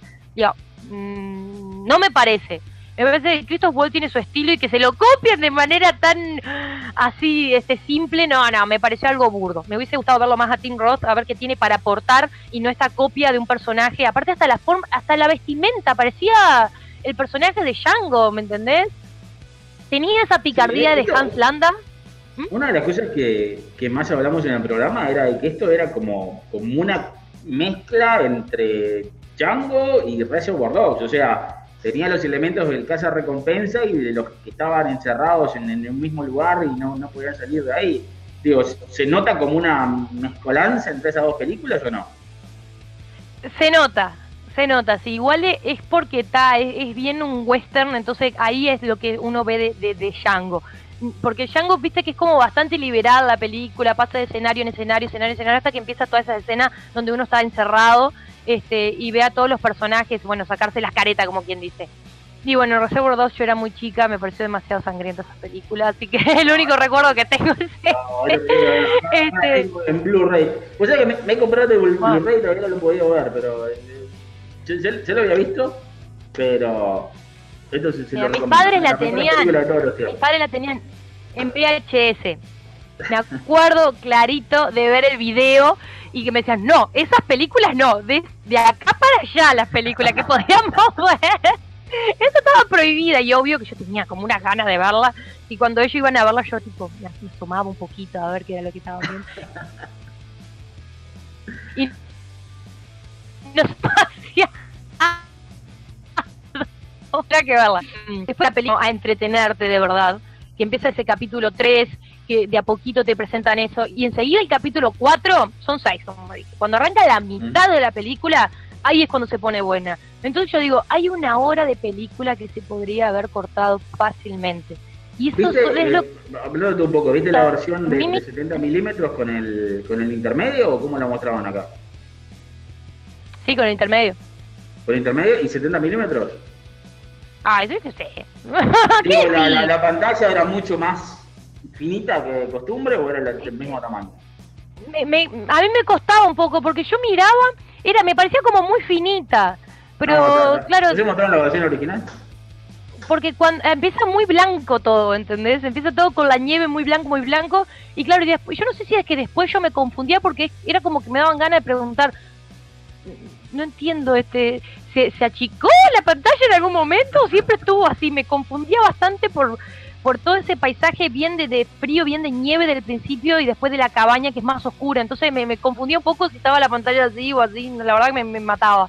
Este. Mm, bueno. El gran problema que va a tener eso es a la hora de la televisión, digo, pues no sé si le pondrán dos barras negras grandísimas, una arriba y una abajo, o la achicarán como, por lo general hacen, que, que, hacen como un zoom a las películas. Me acuerdo de haber visto X-Men primera generación en donde la mitad de la película no se veía, que la pasaran en Canal 4 hace como un año. Este, pero, creo que acá van a tener un gran problema a la hora de que pase a, la televisión, porque supuestamente lo que pasa en los costos, o sea, Néstor, el, muchacho que hace el, programa con nosotros, en, que, está en Los Ángeles, él fue la premier mundial de la película y estuvo ahí con, con todo el reparto y decía que que cuando usan la, la pantalla este, de 70 milímetros, la usan en toda su extensión. O sea que si te cortás pedacitos de los costados, este, perdés parte de la historia. Entonces, digo, a la hora de la televisión va a ser complicado. La verdad que nunca lo pensé, tendría que ver esas películas que decimos. Este, bueno, la cuestión es esta. Empieza el capítulo 4 y uno se empieza a entretener bastante. Entonces, como que ser lo anterior a la película decís que no te aportó demasiado sí te aporta a ver todo lo que le pasa a Jennifer Jason Lee, que la verdad que es una actriz que, que no se ve mucho, no se ve tanto. Y acá la verdad que lo tiene bien merecida la nominación, además de que ya ganó dos premios. Uno siendo el, premio de la crítica de San Diego, que ahora estuve mirando quién, quién más había ganado ese premio y vi que el año anterior, o sea, el 2014, ganó René Russo por Nightcrawler y miré el nombre del personaje se llamaba Nina Romina. Yo nunca me enteré que el personaje de ella se llamaba. La verdad, le hubiese dicho algo cuando critiqué la película. Me estoy enterando. No sé si, no sé si vos te ves, pero se, se te fue la imagen. solamente te estoy escuchando. Bueno, ahora va a aparecer. Cualquier cosa. ahí, ahí apareciste, pero después no. No sé. Ale edita todo. ok, Ale. Bueno. La película este, eh, de repente empieza a entretener por todos estos personajes. Está Tim Roth, está Michael Madsen, está Kerr Russell, está Samuel L. Jackson. Está ese, un actor ahí que no, no es muy conocido, pero bueno, que, anda ahí, se ve que la pelota se llama Walton Goggins, no sé quién es. Eh, está Demian Bichir. Sí, sí, sí, buenísimo. Y el otro, el... Mirando series. ¿Cómo se llama? series? ¿El mexicano? Sí, Demian Bichir. Es. Damian Bichir, bueno, este Bruce Dern, Channing Tatum, este entonces como que te entretiene ver todos esos actores que pueden llegar a ser y cuando empieza la parte de la desconfianza, la película se pone muy buena, muy muy buena, muy Tarantino y en determinado momento empieza el toque clásico Tarantino y ahí es cuando la película empieza a tener esos mismos problemas que vi al inicio de que se me hizo demasiado larga con personajes que no me llamaban mucho la atención. Se volvió un tanto bizarra. Yo sé que es el estilo de él, yo sé que no lo puedo criticar porque es él, pero creo que en otras películas les funcionó más emplear estos elementos bastante gore que tiene Tarantino, así que me parece que no tendría que haber sido tan así, además de que de a rato se me tornó un tanto predecible la película. Te soy sincera, la primera primer tercio me dio sueño, el segundo tercio me despertó totalmente y el tercero era una onda otra vez no, ¿entendés? Así que este, no voy a decir que fue la peor película, tampoco voy a decir que fue la mejor película, pero sí que es entretenida, que tiene muchas cosas que, se esperan de Tarantino, así que yo la recomendaría, pero que vayan con todas las pilas y que vayan recargados, porque son casi tres horas de, película que no todo el mundo puede soportar y que no todo el mundo está acostumbrado. Se yo, yo, lo recomiendo que en ese tipo de casos se lleven la Coca-Cola chica, porque si no tienen que ir al baño obligatoriamente y la almohadita. Por la duda. Eh, ya, que estoy, le respondo acá a Ale Font, que nos está preguntando por, por, Facebook lo de los comentarios. Eh, no te había enterado, pero tenemos problemas con los comentarios, ya no, se pueden hacer, así que este está como trancado. Si alguien sabe la solución, yo todavía no lo he encontrado, eh, pero tengo. Dice: All comments are disabled for this video. Y, no se puede poner comentario cuando estamos en vivo, que era lo que hacíamos antes, que tenemos, tenemos la sección de preguntas y respuestas. Así que si alguien sabe cómo solucionar esto, y que, quiere tratar de buscar la solución por todos lados y no lo encuentro, avísenme que, ese es el motivo por el cual no tenemos comentarios. Bueno, este, yo no, no puedo decir mucho porque todo te puede llegar a arruinar la trama. Hay una parte de Samuel. Jackson que yo creo que se va al diablo en el momento que dijo, ¿sabes qué hice con tu hijo? Yo dije, está, acá se viene algo no sé, descomunal y la verdad que si no le re, esas, esas cosas predecibles no, no me caen muy bien. Pero bueno, él tiene su estilo, me gusta su estilo, me gusta cómo hizo con un escenario solo que era la cabaña, cómo con eso logró entretener, que yo tengo, te puedo decir, muchas películas que en un mismo escenario que la verdad me aburren. No quiero decir que fueran una sola toma, pero como que el mismo escenario muchas veces te cansa, te, te tiene eso medio tedioso y no lo vi en esta cabaña. La verdad que cada ángulo de la cabaña yo decía, qué linda cabaña, ¿cómo le pondría un cuadro allá? Era como que hasta me, daban ganas de decir, si tuviera una cabaña tendría que ser como esa. Así que bueno, el puntaje no va a ser el mejor porque no me gustó ver ese plagio de Christoph Waltz. Si fue un homenaje, me parece que es muy temprano para un homenaje. El tipo ganó dos Oscars, gracias a Tarantino, no, todas las películas. hacer lo mismo, pero también ganó el Oscar es que eh, por eso yo quiero entender cuál fue el objetivo. dos veces por hacer lo mismo? Igual es que es muy igual. Es muy igual. Entonces yo no sé si fue o un homenaje como diciendo, bueno, no estuvo Christoph Waltz, porque aparte estuvo averiguando si por lo menos lo llamaron o lo contactaron. La verdad que no dice nada de que haya sido contactado este Christoph Waltz para el papel. Así que este no sé si fue un homenaje, no fue, no sé si fue que Tarantino de verdad lo quería y bueno, dijo, dale, metele y trata de aparecerte, o no sé si el otro dijo, bueno, como decís vos, me voy a avivar y voy a hacer lo mismo porque a la gente le va a gustar. Así que para mí fue un plagio y por eso ahí le, le bajo la nota. Después, este, quizás un poco el personaje no me gustó tanto el de Samuel. Jackson Sí me gustó el de Walter Goggins, me pareció súper entretenido. La verdad que me, sorprendió. Tenía un acento muy, muy, muy marcado, pero fue, eso fue lo divertido, porque a mí me dan ganas de imitarlo después. Este Michael Madsen me pareció que estaba aburrido, medio pintado. Aparte el pelo largo, parecía, no sé, cualquier cosa. no apareció tanto, la verdad que... Y me pareció lo mismo que me pasa con Jeff Bridges. llega un punto que, que van a tener que largar el pucho o algo, porque no se les entiende nada al final digo, gracias a Dios existen los subtítulos, porque si no, no sé qué hago. No se les entiende nada cuando habla. Y bueno, este... Ah, no, ah, me había olvidado de ese otro. Así que dejen la bebida, que dejen el cigarro, porque no se les está entendiendo nada. Más que hacen acento, viste que Jeff Bridges o por si te manda algún acento medio tejano, onda y se te va para todos lados la lengua. Sí, Nick Nolte, pobre. Gracias a Dios subtítulo. Menos mal que miramos las películas subtituladas acá, o por lo menos subtítulo para ellos, ¿no? Este, y bueno, al final se me volvió demasiado tarantino para mi gusto, fue como que puso todo, todo, toda la última escena del último capítulo y ahí fue que se, se me aburrió. El capítulo 5 puedo decir de que fue el mejor de todos, fue súper entretenido, pero ya en el 6 volvimos al, a ese altibajo que vimos al principio. La película de todas maneras para mí es un 6,5, le iba a dar un 7, pero me parece que eso está bastante cerca del el 8 que le hemos dado a, a Peanuts y a y Steve Jobs, así que para mí tiene que ser un 6,5. Está bien hecha, eh, es, fiel a su estilo, los actores están muy bien, pero le falta mucha garra de las películas, por lo menos las anteriores que hemos visto.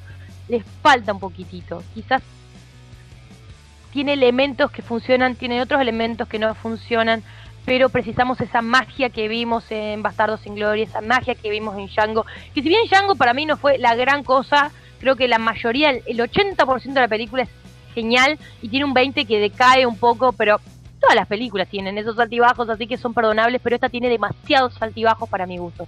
No puedo decir que es la mejor, sí puedo decir que puede ser una de las más íntimas por, por la manera en que interactúan todos los personajes al mismo tiempo, que funciona de verdad, pero que tiene tantos altibajos al principio y al final que, yo no puedo decir que fue la mejor cuando empieza de una manera que no te atrae y termina de otra manera que tampoco te atrae. Es solo el medio lo mejor que tiene la película, así que para mí es un 6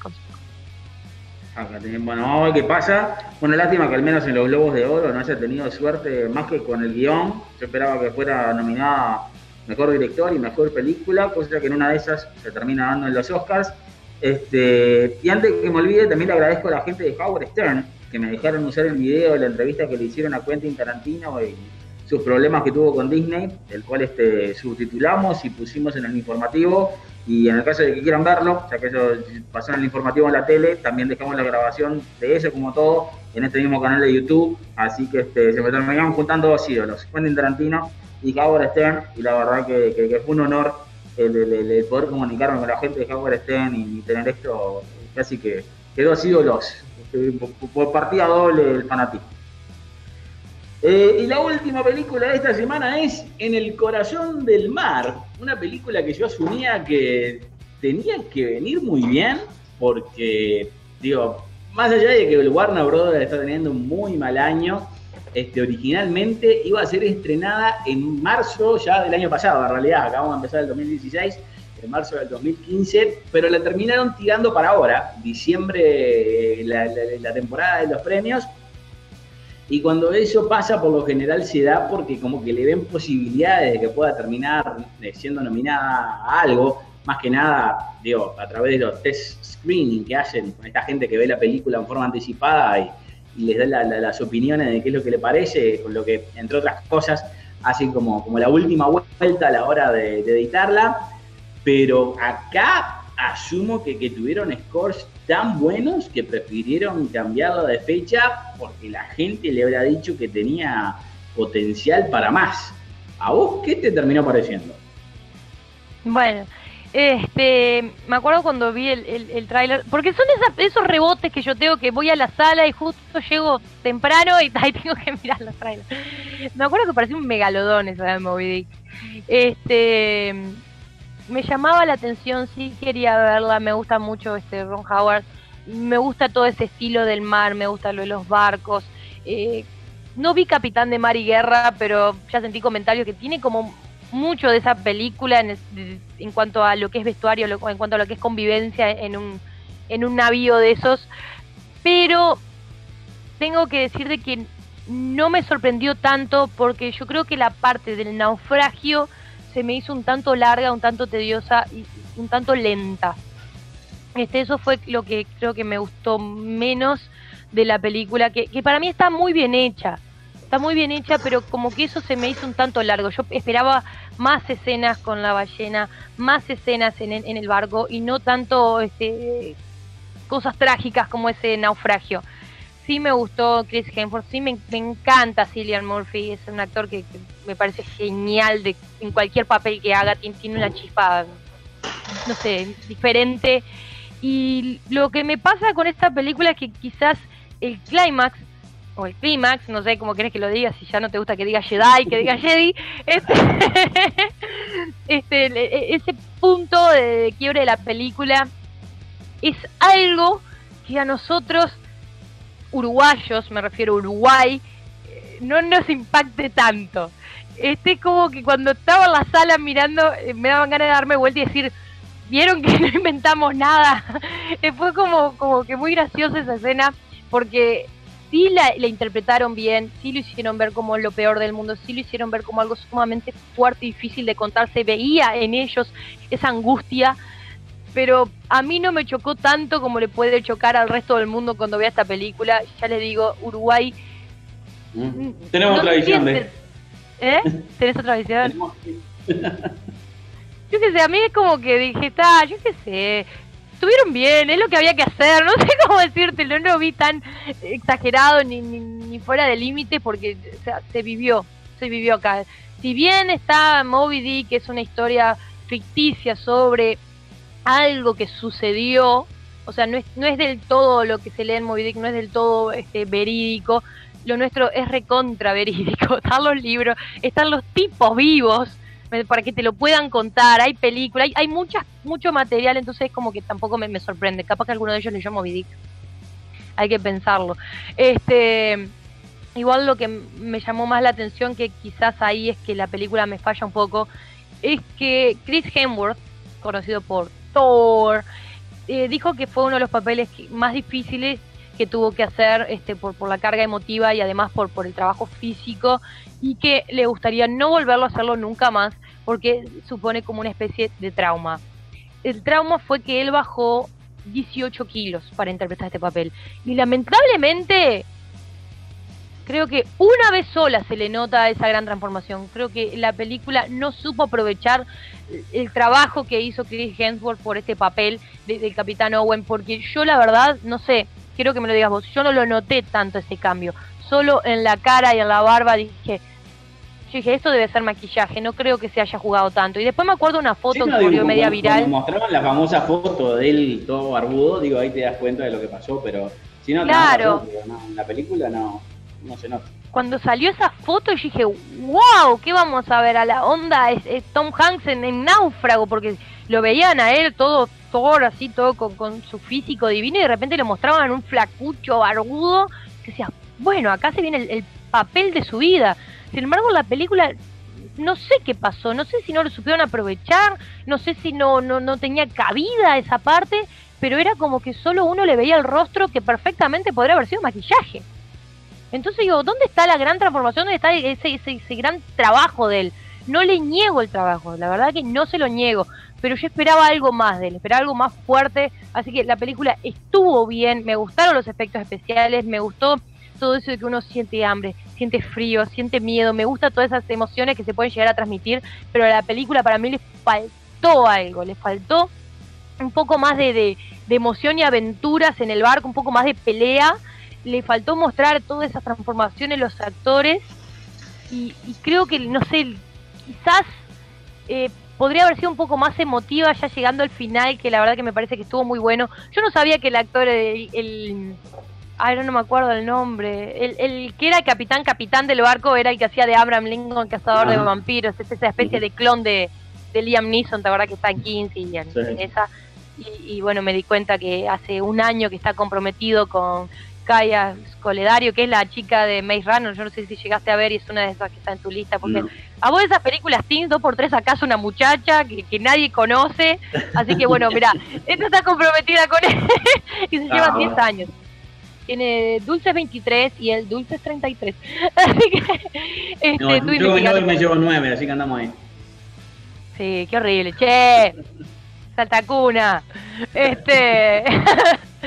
la película no me enloqueció, sí la disfruté, sí sentí, ya te digo, el frío. Ya cuando veo mucha agua, digo, no voy a tomar nada por las dudas porque yo soy como muy influenciable en eso. Y antes de que tener ir al baño, creo que creo que llegué a salir al baño. Mira, y eso nunca me pasa en las películas. Ya cuando la película me entretiene mucho, mi vejiga puede llegar a estar por explotar, que yo me aguanto. Y en esta película yo creo que fui al baño. Así que imagínate no, lo poco que, que, logró este cautivarme. Esperaba mucho más de esta película. Sí. Yo creo que voy a asumir que soy la única persona que le terminó pasando esto, pero una cosa que no me pude sacar de la cabeza mientras estaba mirando la película, prácticamente de la mitad para adelante y hasta el día de hoy, es Mary Reilly, la película de Julia Roberts. No sé si vos la viste o la conoces. ¿Cuál? se llama Mary Reilly, no, no tiene nada que ver con esto, pero en lo que se parece a ambas, o digo, es lo que me pareció después de verla, es que no me imagino una mejor manera de contar esta historia, aun si la película no termina siendo tan buena. ¿Y a qué me refiero con esto? Que cuando vi Barry Reilly, que se trata de, la empleada no doméstica del Dr. Jekyll y Mr. Hyde, que, que, es una historia que se había contado de diferentes formas y creo que, que digo, por más que esto se suponía que era una forma diferente de contarla, yo la vi muy de chico y, y fue como la primera vez que tuve una película completa con, con estos dos personajes que son en realidad uno. Y cuando la vi, sinceramente, no podía llegar a entender de qué otras formas podían llegarse a contar la misma historia, de que, que, que fueran más efectivas. Más allá de que la película no me terminó gustando tanto.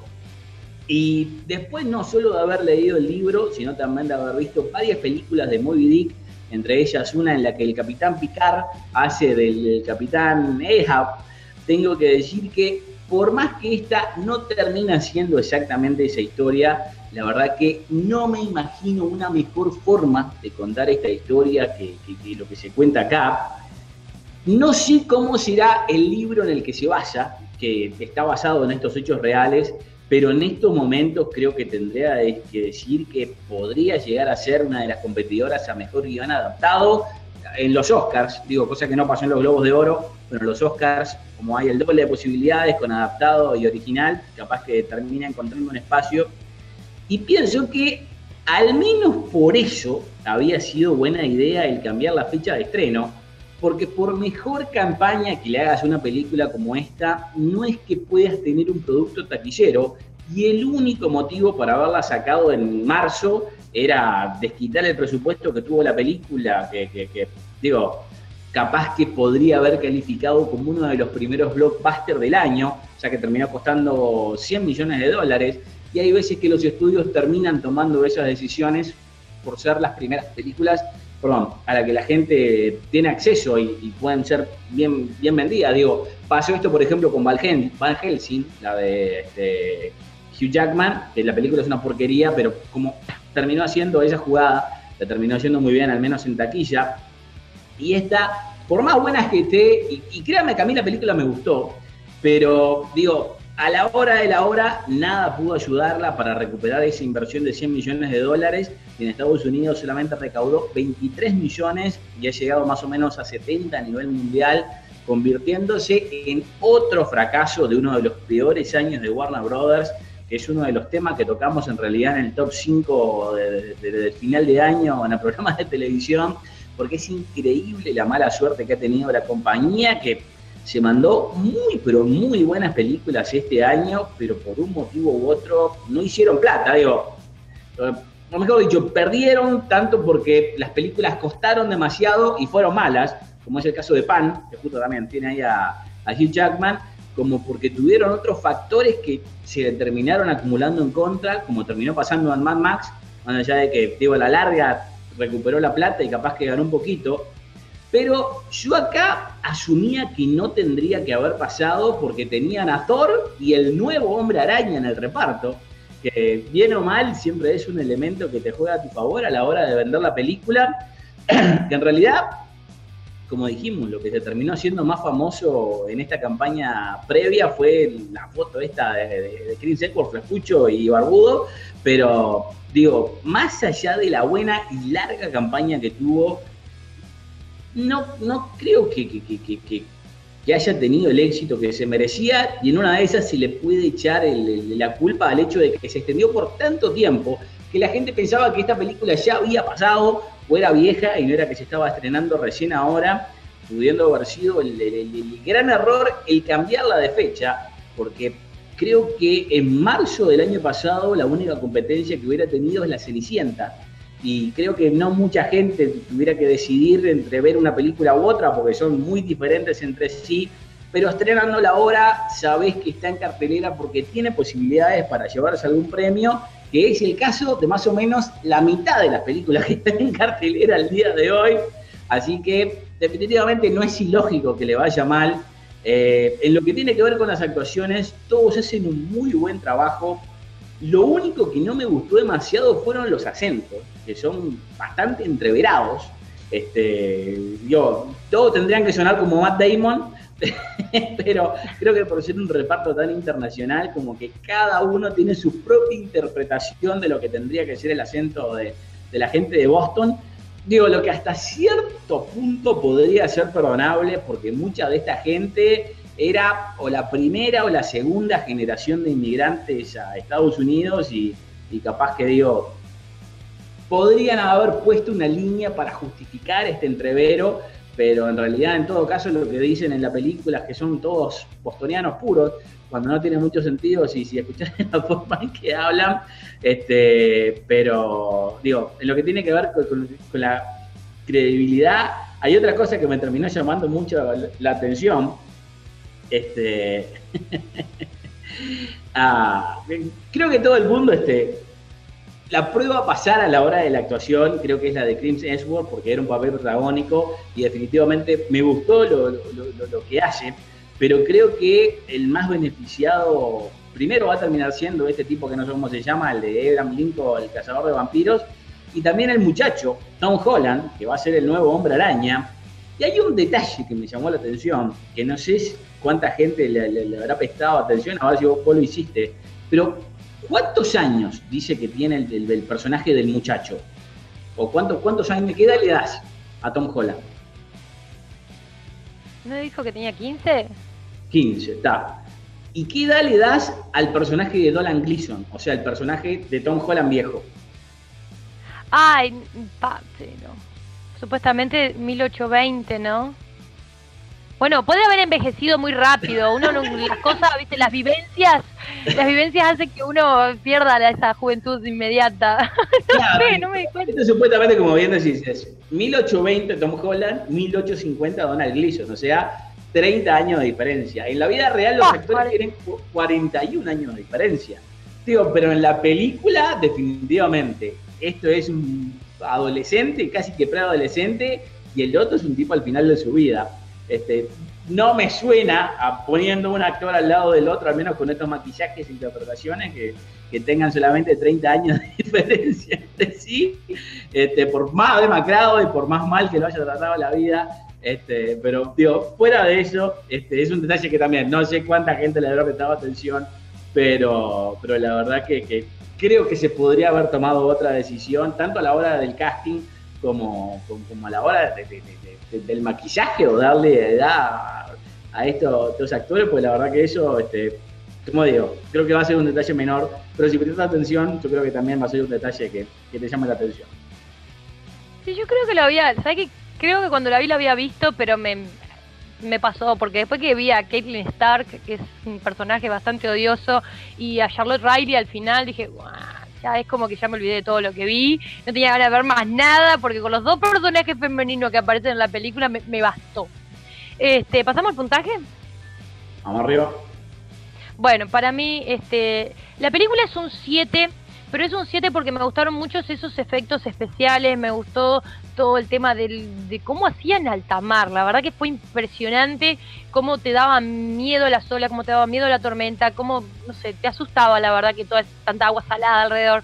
Las actuaciones estuvieron bien, pero ya te digo, yo esperaba un poco más notar esa transformación en Chris Hemsworth, que la verdad que no la noté demasiado, sí la noté quizás en Cillian Murphy que me parece un actor genial al cual adoro, este, porque todo lo que ha hecho, por más que sea poco, mucho, principal o no, me gusta. Hasta en este papel en thriller psicológico Luces Rojas con Robert De Niro, que es una película media media, me parece que estuvo bien. Este, así que, este, estaba escuchando una, entrevista que le hicieron a, un crítico de cine y, él contaba de las metidas de pata de, los famosos, que cuando, daban un spoiler si estaban en una película o no. Entonces se mm. cuenta que, la metida de pata más grande se la terminó mandando Cillian Murphy, porque cuando estaba promocionando una película, que no me acuerdo cuál era, capaz que hasta esta era esta, Luces Rojas, en las ruedas de prensa le terminaban preguntando si estaba en la última de Batman. Y él dice que no podía decir porque en el contrato que había firmado para la película decía que no podía hacerlo. O sea que dio a entender que sí estaba porque firmó un contrato para estar en la película, pero. Pero, en, la, última de Batman aparece bien sobre el final y parece creo que sin dos minutos. Claro, digo, pero era, un secreto de la película y lo estaban tratando como un spoiler y él termina diciendo... que fue tan secreto? Pero digo, fue tan secreto y el personaje se vio tan de lejos que a mí me costó reconocerlo al principio. Te digo de que uno estaba tan metido en la película que dije, ah, mira quién era. Era como que después me cayó la ficha que era él. Así que estaba, no metió tanto la pata, la gente le iba a esperar y tal. Este, bueno, Brendan Gleeson, tenés razón, estaba bastante veterano. También me gustó que estaba el muchachito este Frank Dillane, Dylan, no sé cómo se dice, que es este el primo de Pollard, que es el que, el que va a estar nuevo en la serie, una serie nueva de Walking Dead que se llama, tiene algún nombre para Fear the Walking Dead. Así que este me pareció excelente en el capítulo piloto ese, ese muchachito, así que espero verlo en muchas películas. Yo te lo recomiendo, es un capítulo creo que de 40 minutos, excelente lo que actúa este muchacho. Este, y la verdad que me parece excelente la película también. Empecé a ver The Walking Dead y, la explicación en realidad de, cómo empezaban los zombies ahí se me hizo tan parecida a la de 28 días después, justo la película de... Sí, por Cillian Murphy, que aparece en el hospital, sí. Claro, pero se me hizo tan parecida que me terminó cayendo mal y creo que, no pasé del, segundo capítulo por eso. No, pero mira, The Walking Dead lee el cómic. Esta se llama Fear the Walking Dead. Es muy diferente cómo empieza. Muy diferente. Pero, parece una, un side quest. Bueno, está. La cuestión es que ese muchacho la, rompe. Así que la película es un 7 porque, bueno, hay que decir que tiene cosas muy buenas, pero tampoco, no sé, te rompe los ojos y decís, ah, estamos ante la mejor película. La verdad que está bien hecha, pero es como que bastante flojita ya te digo, quizás hasta esa parte súper emocionante, ese clímax, ese clímax de la película tampoco me, me, choqueó tanto como para decir que, está buena.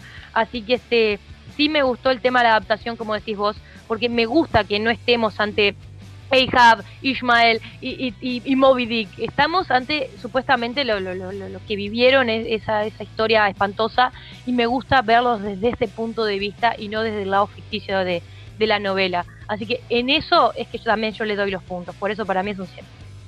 Está bueno, acá también coincidimos, estamos muy coincidentes. Este, para mí también es Año un nuevo. ¿Oíste? como Camelo.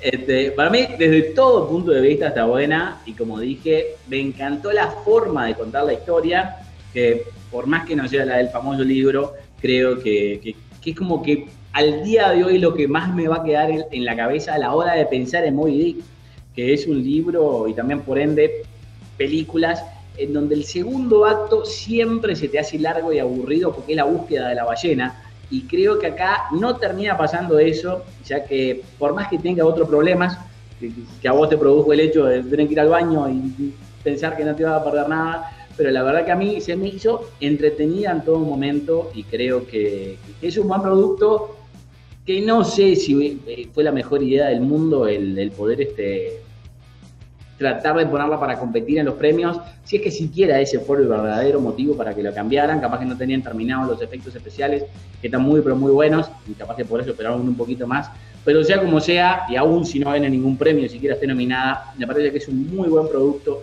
que vale la pena verse, así que si tienen la oportunidad, de mi parte, no se la pierdan. Así llegamos al final, así que Romina, por favor, como siempre, recordanos dónde podemos encontrar todas tus cosas durante la semana. Los voy a esperar en mi cartelera de cine en Facebook y en Twitter. Este, con lo último sobre cine y bueno, y esperemos que empecemos con la radio también dentro de dos meses más o menos. Así que este, estoy divertida porque estamos con las nominaciones, que es algo que me entretiene, y viste que se están viniendo como de golpe todos estos estrenos que, que están este, en la pelota. La verdad que Los Ocho Más Odiados yo tenía entendido que se iba a estrenar para la semana que viene. La verdad que me sorprendió verla ahora. Este, ya para la semana que viene vamos a tener el estreno de Joy, que es la última Jennifer Lawrence, que ni idea cómo llega. Puede llegar a estar, no tengo idea, la verdad que no tengo muchas ganas, pero como está nominada hay que darle la chance y bueno, hay que verla, ¿qué vamos a hacer? Este, pero está bueno, pues están viendo todas esas películas cargadas, este, vamos a tener a fin de mes de Revenant, este, la verdad que me encanta todo todo este alboroto que, producen los Globos de Oro y, los Oscars, y espero no perdérmelo por... Bueno, me voy a perder... Toda, la película que estás diciendo no puedo verla.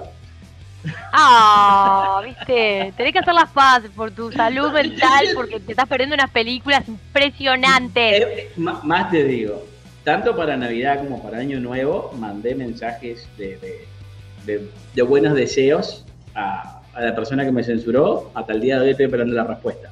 Así que digo, mejor que eso imposible. Digo, yo siempre estoy y sigo abierto al diálogo. Pero si no quieren dialogar del otro lado, no, no hay mucho que pueda hacer. bueno, está. Bueno, igual las ves después. Yo sé que después de los premios capaz que está. Bueno, no, no, en este caso antes del premio. Oh, está bastante buena.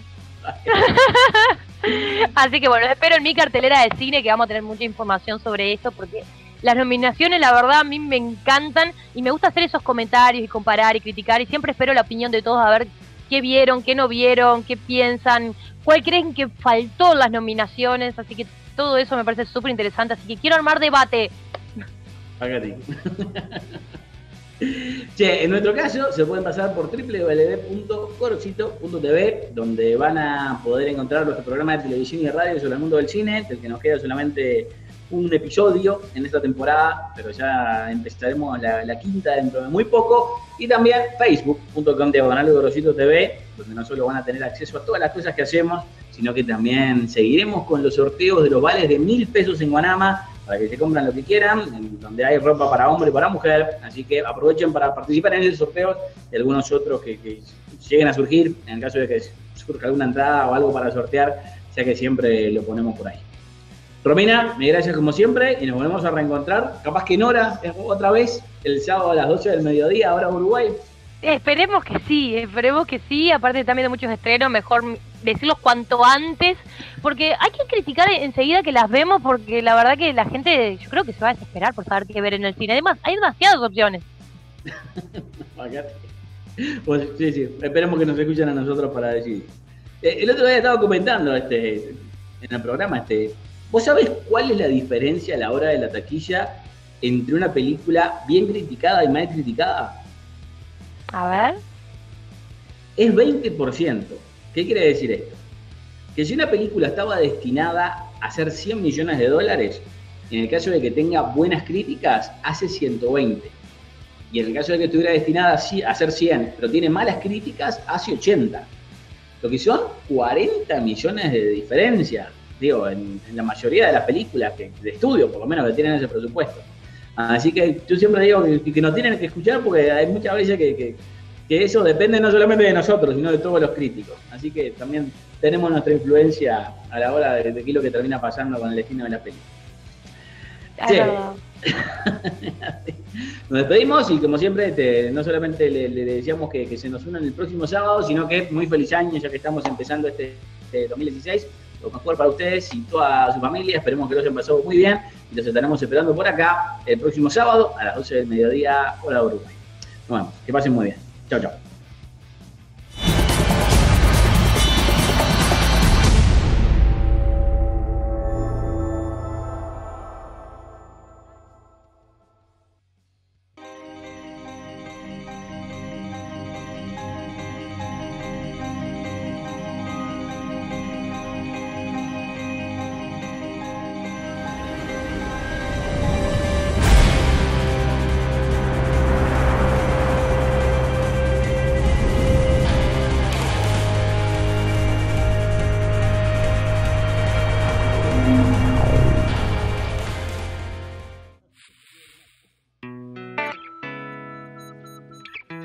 Fotofilmación 22. Video y fotografía profesional. 15 años, bodas, infantiles. Fotofilmación 22. El origen de tus mejores recuerdos. Contacto 095 20 9006.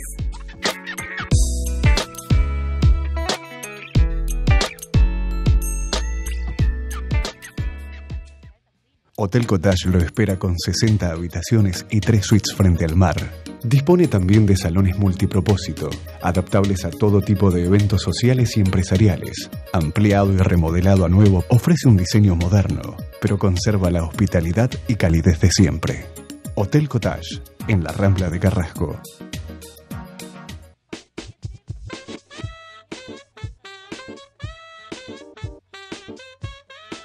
proyectos de calidad cultural en todo el país. Empresas con responsabilidad social y artistas trabajando juntos. Invertir en cultura tiene un 100% de beneficios. Fondos de incentivo cultural.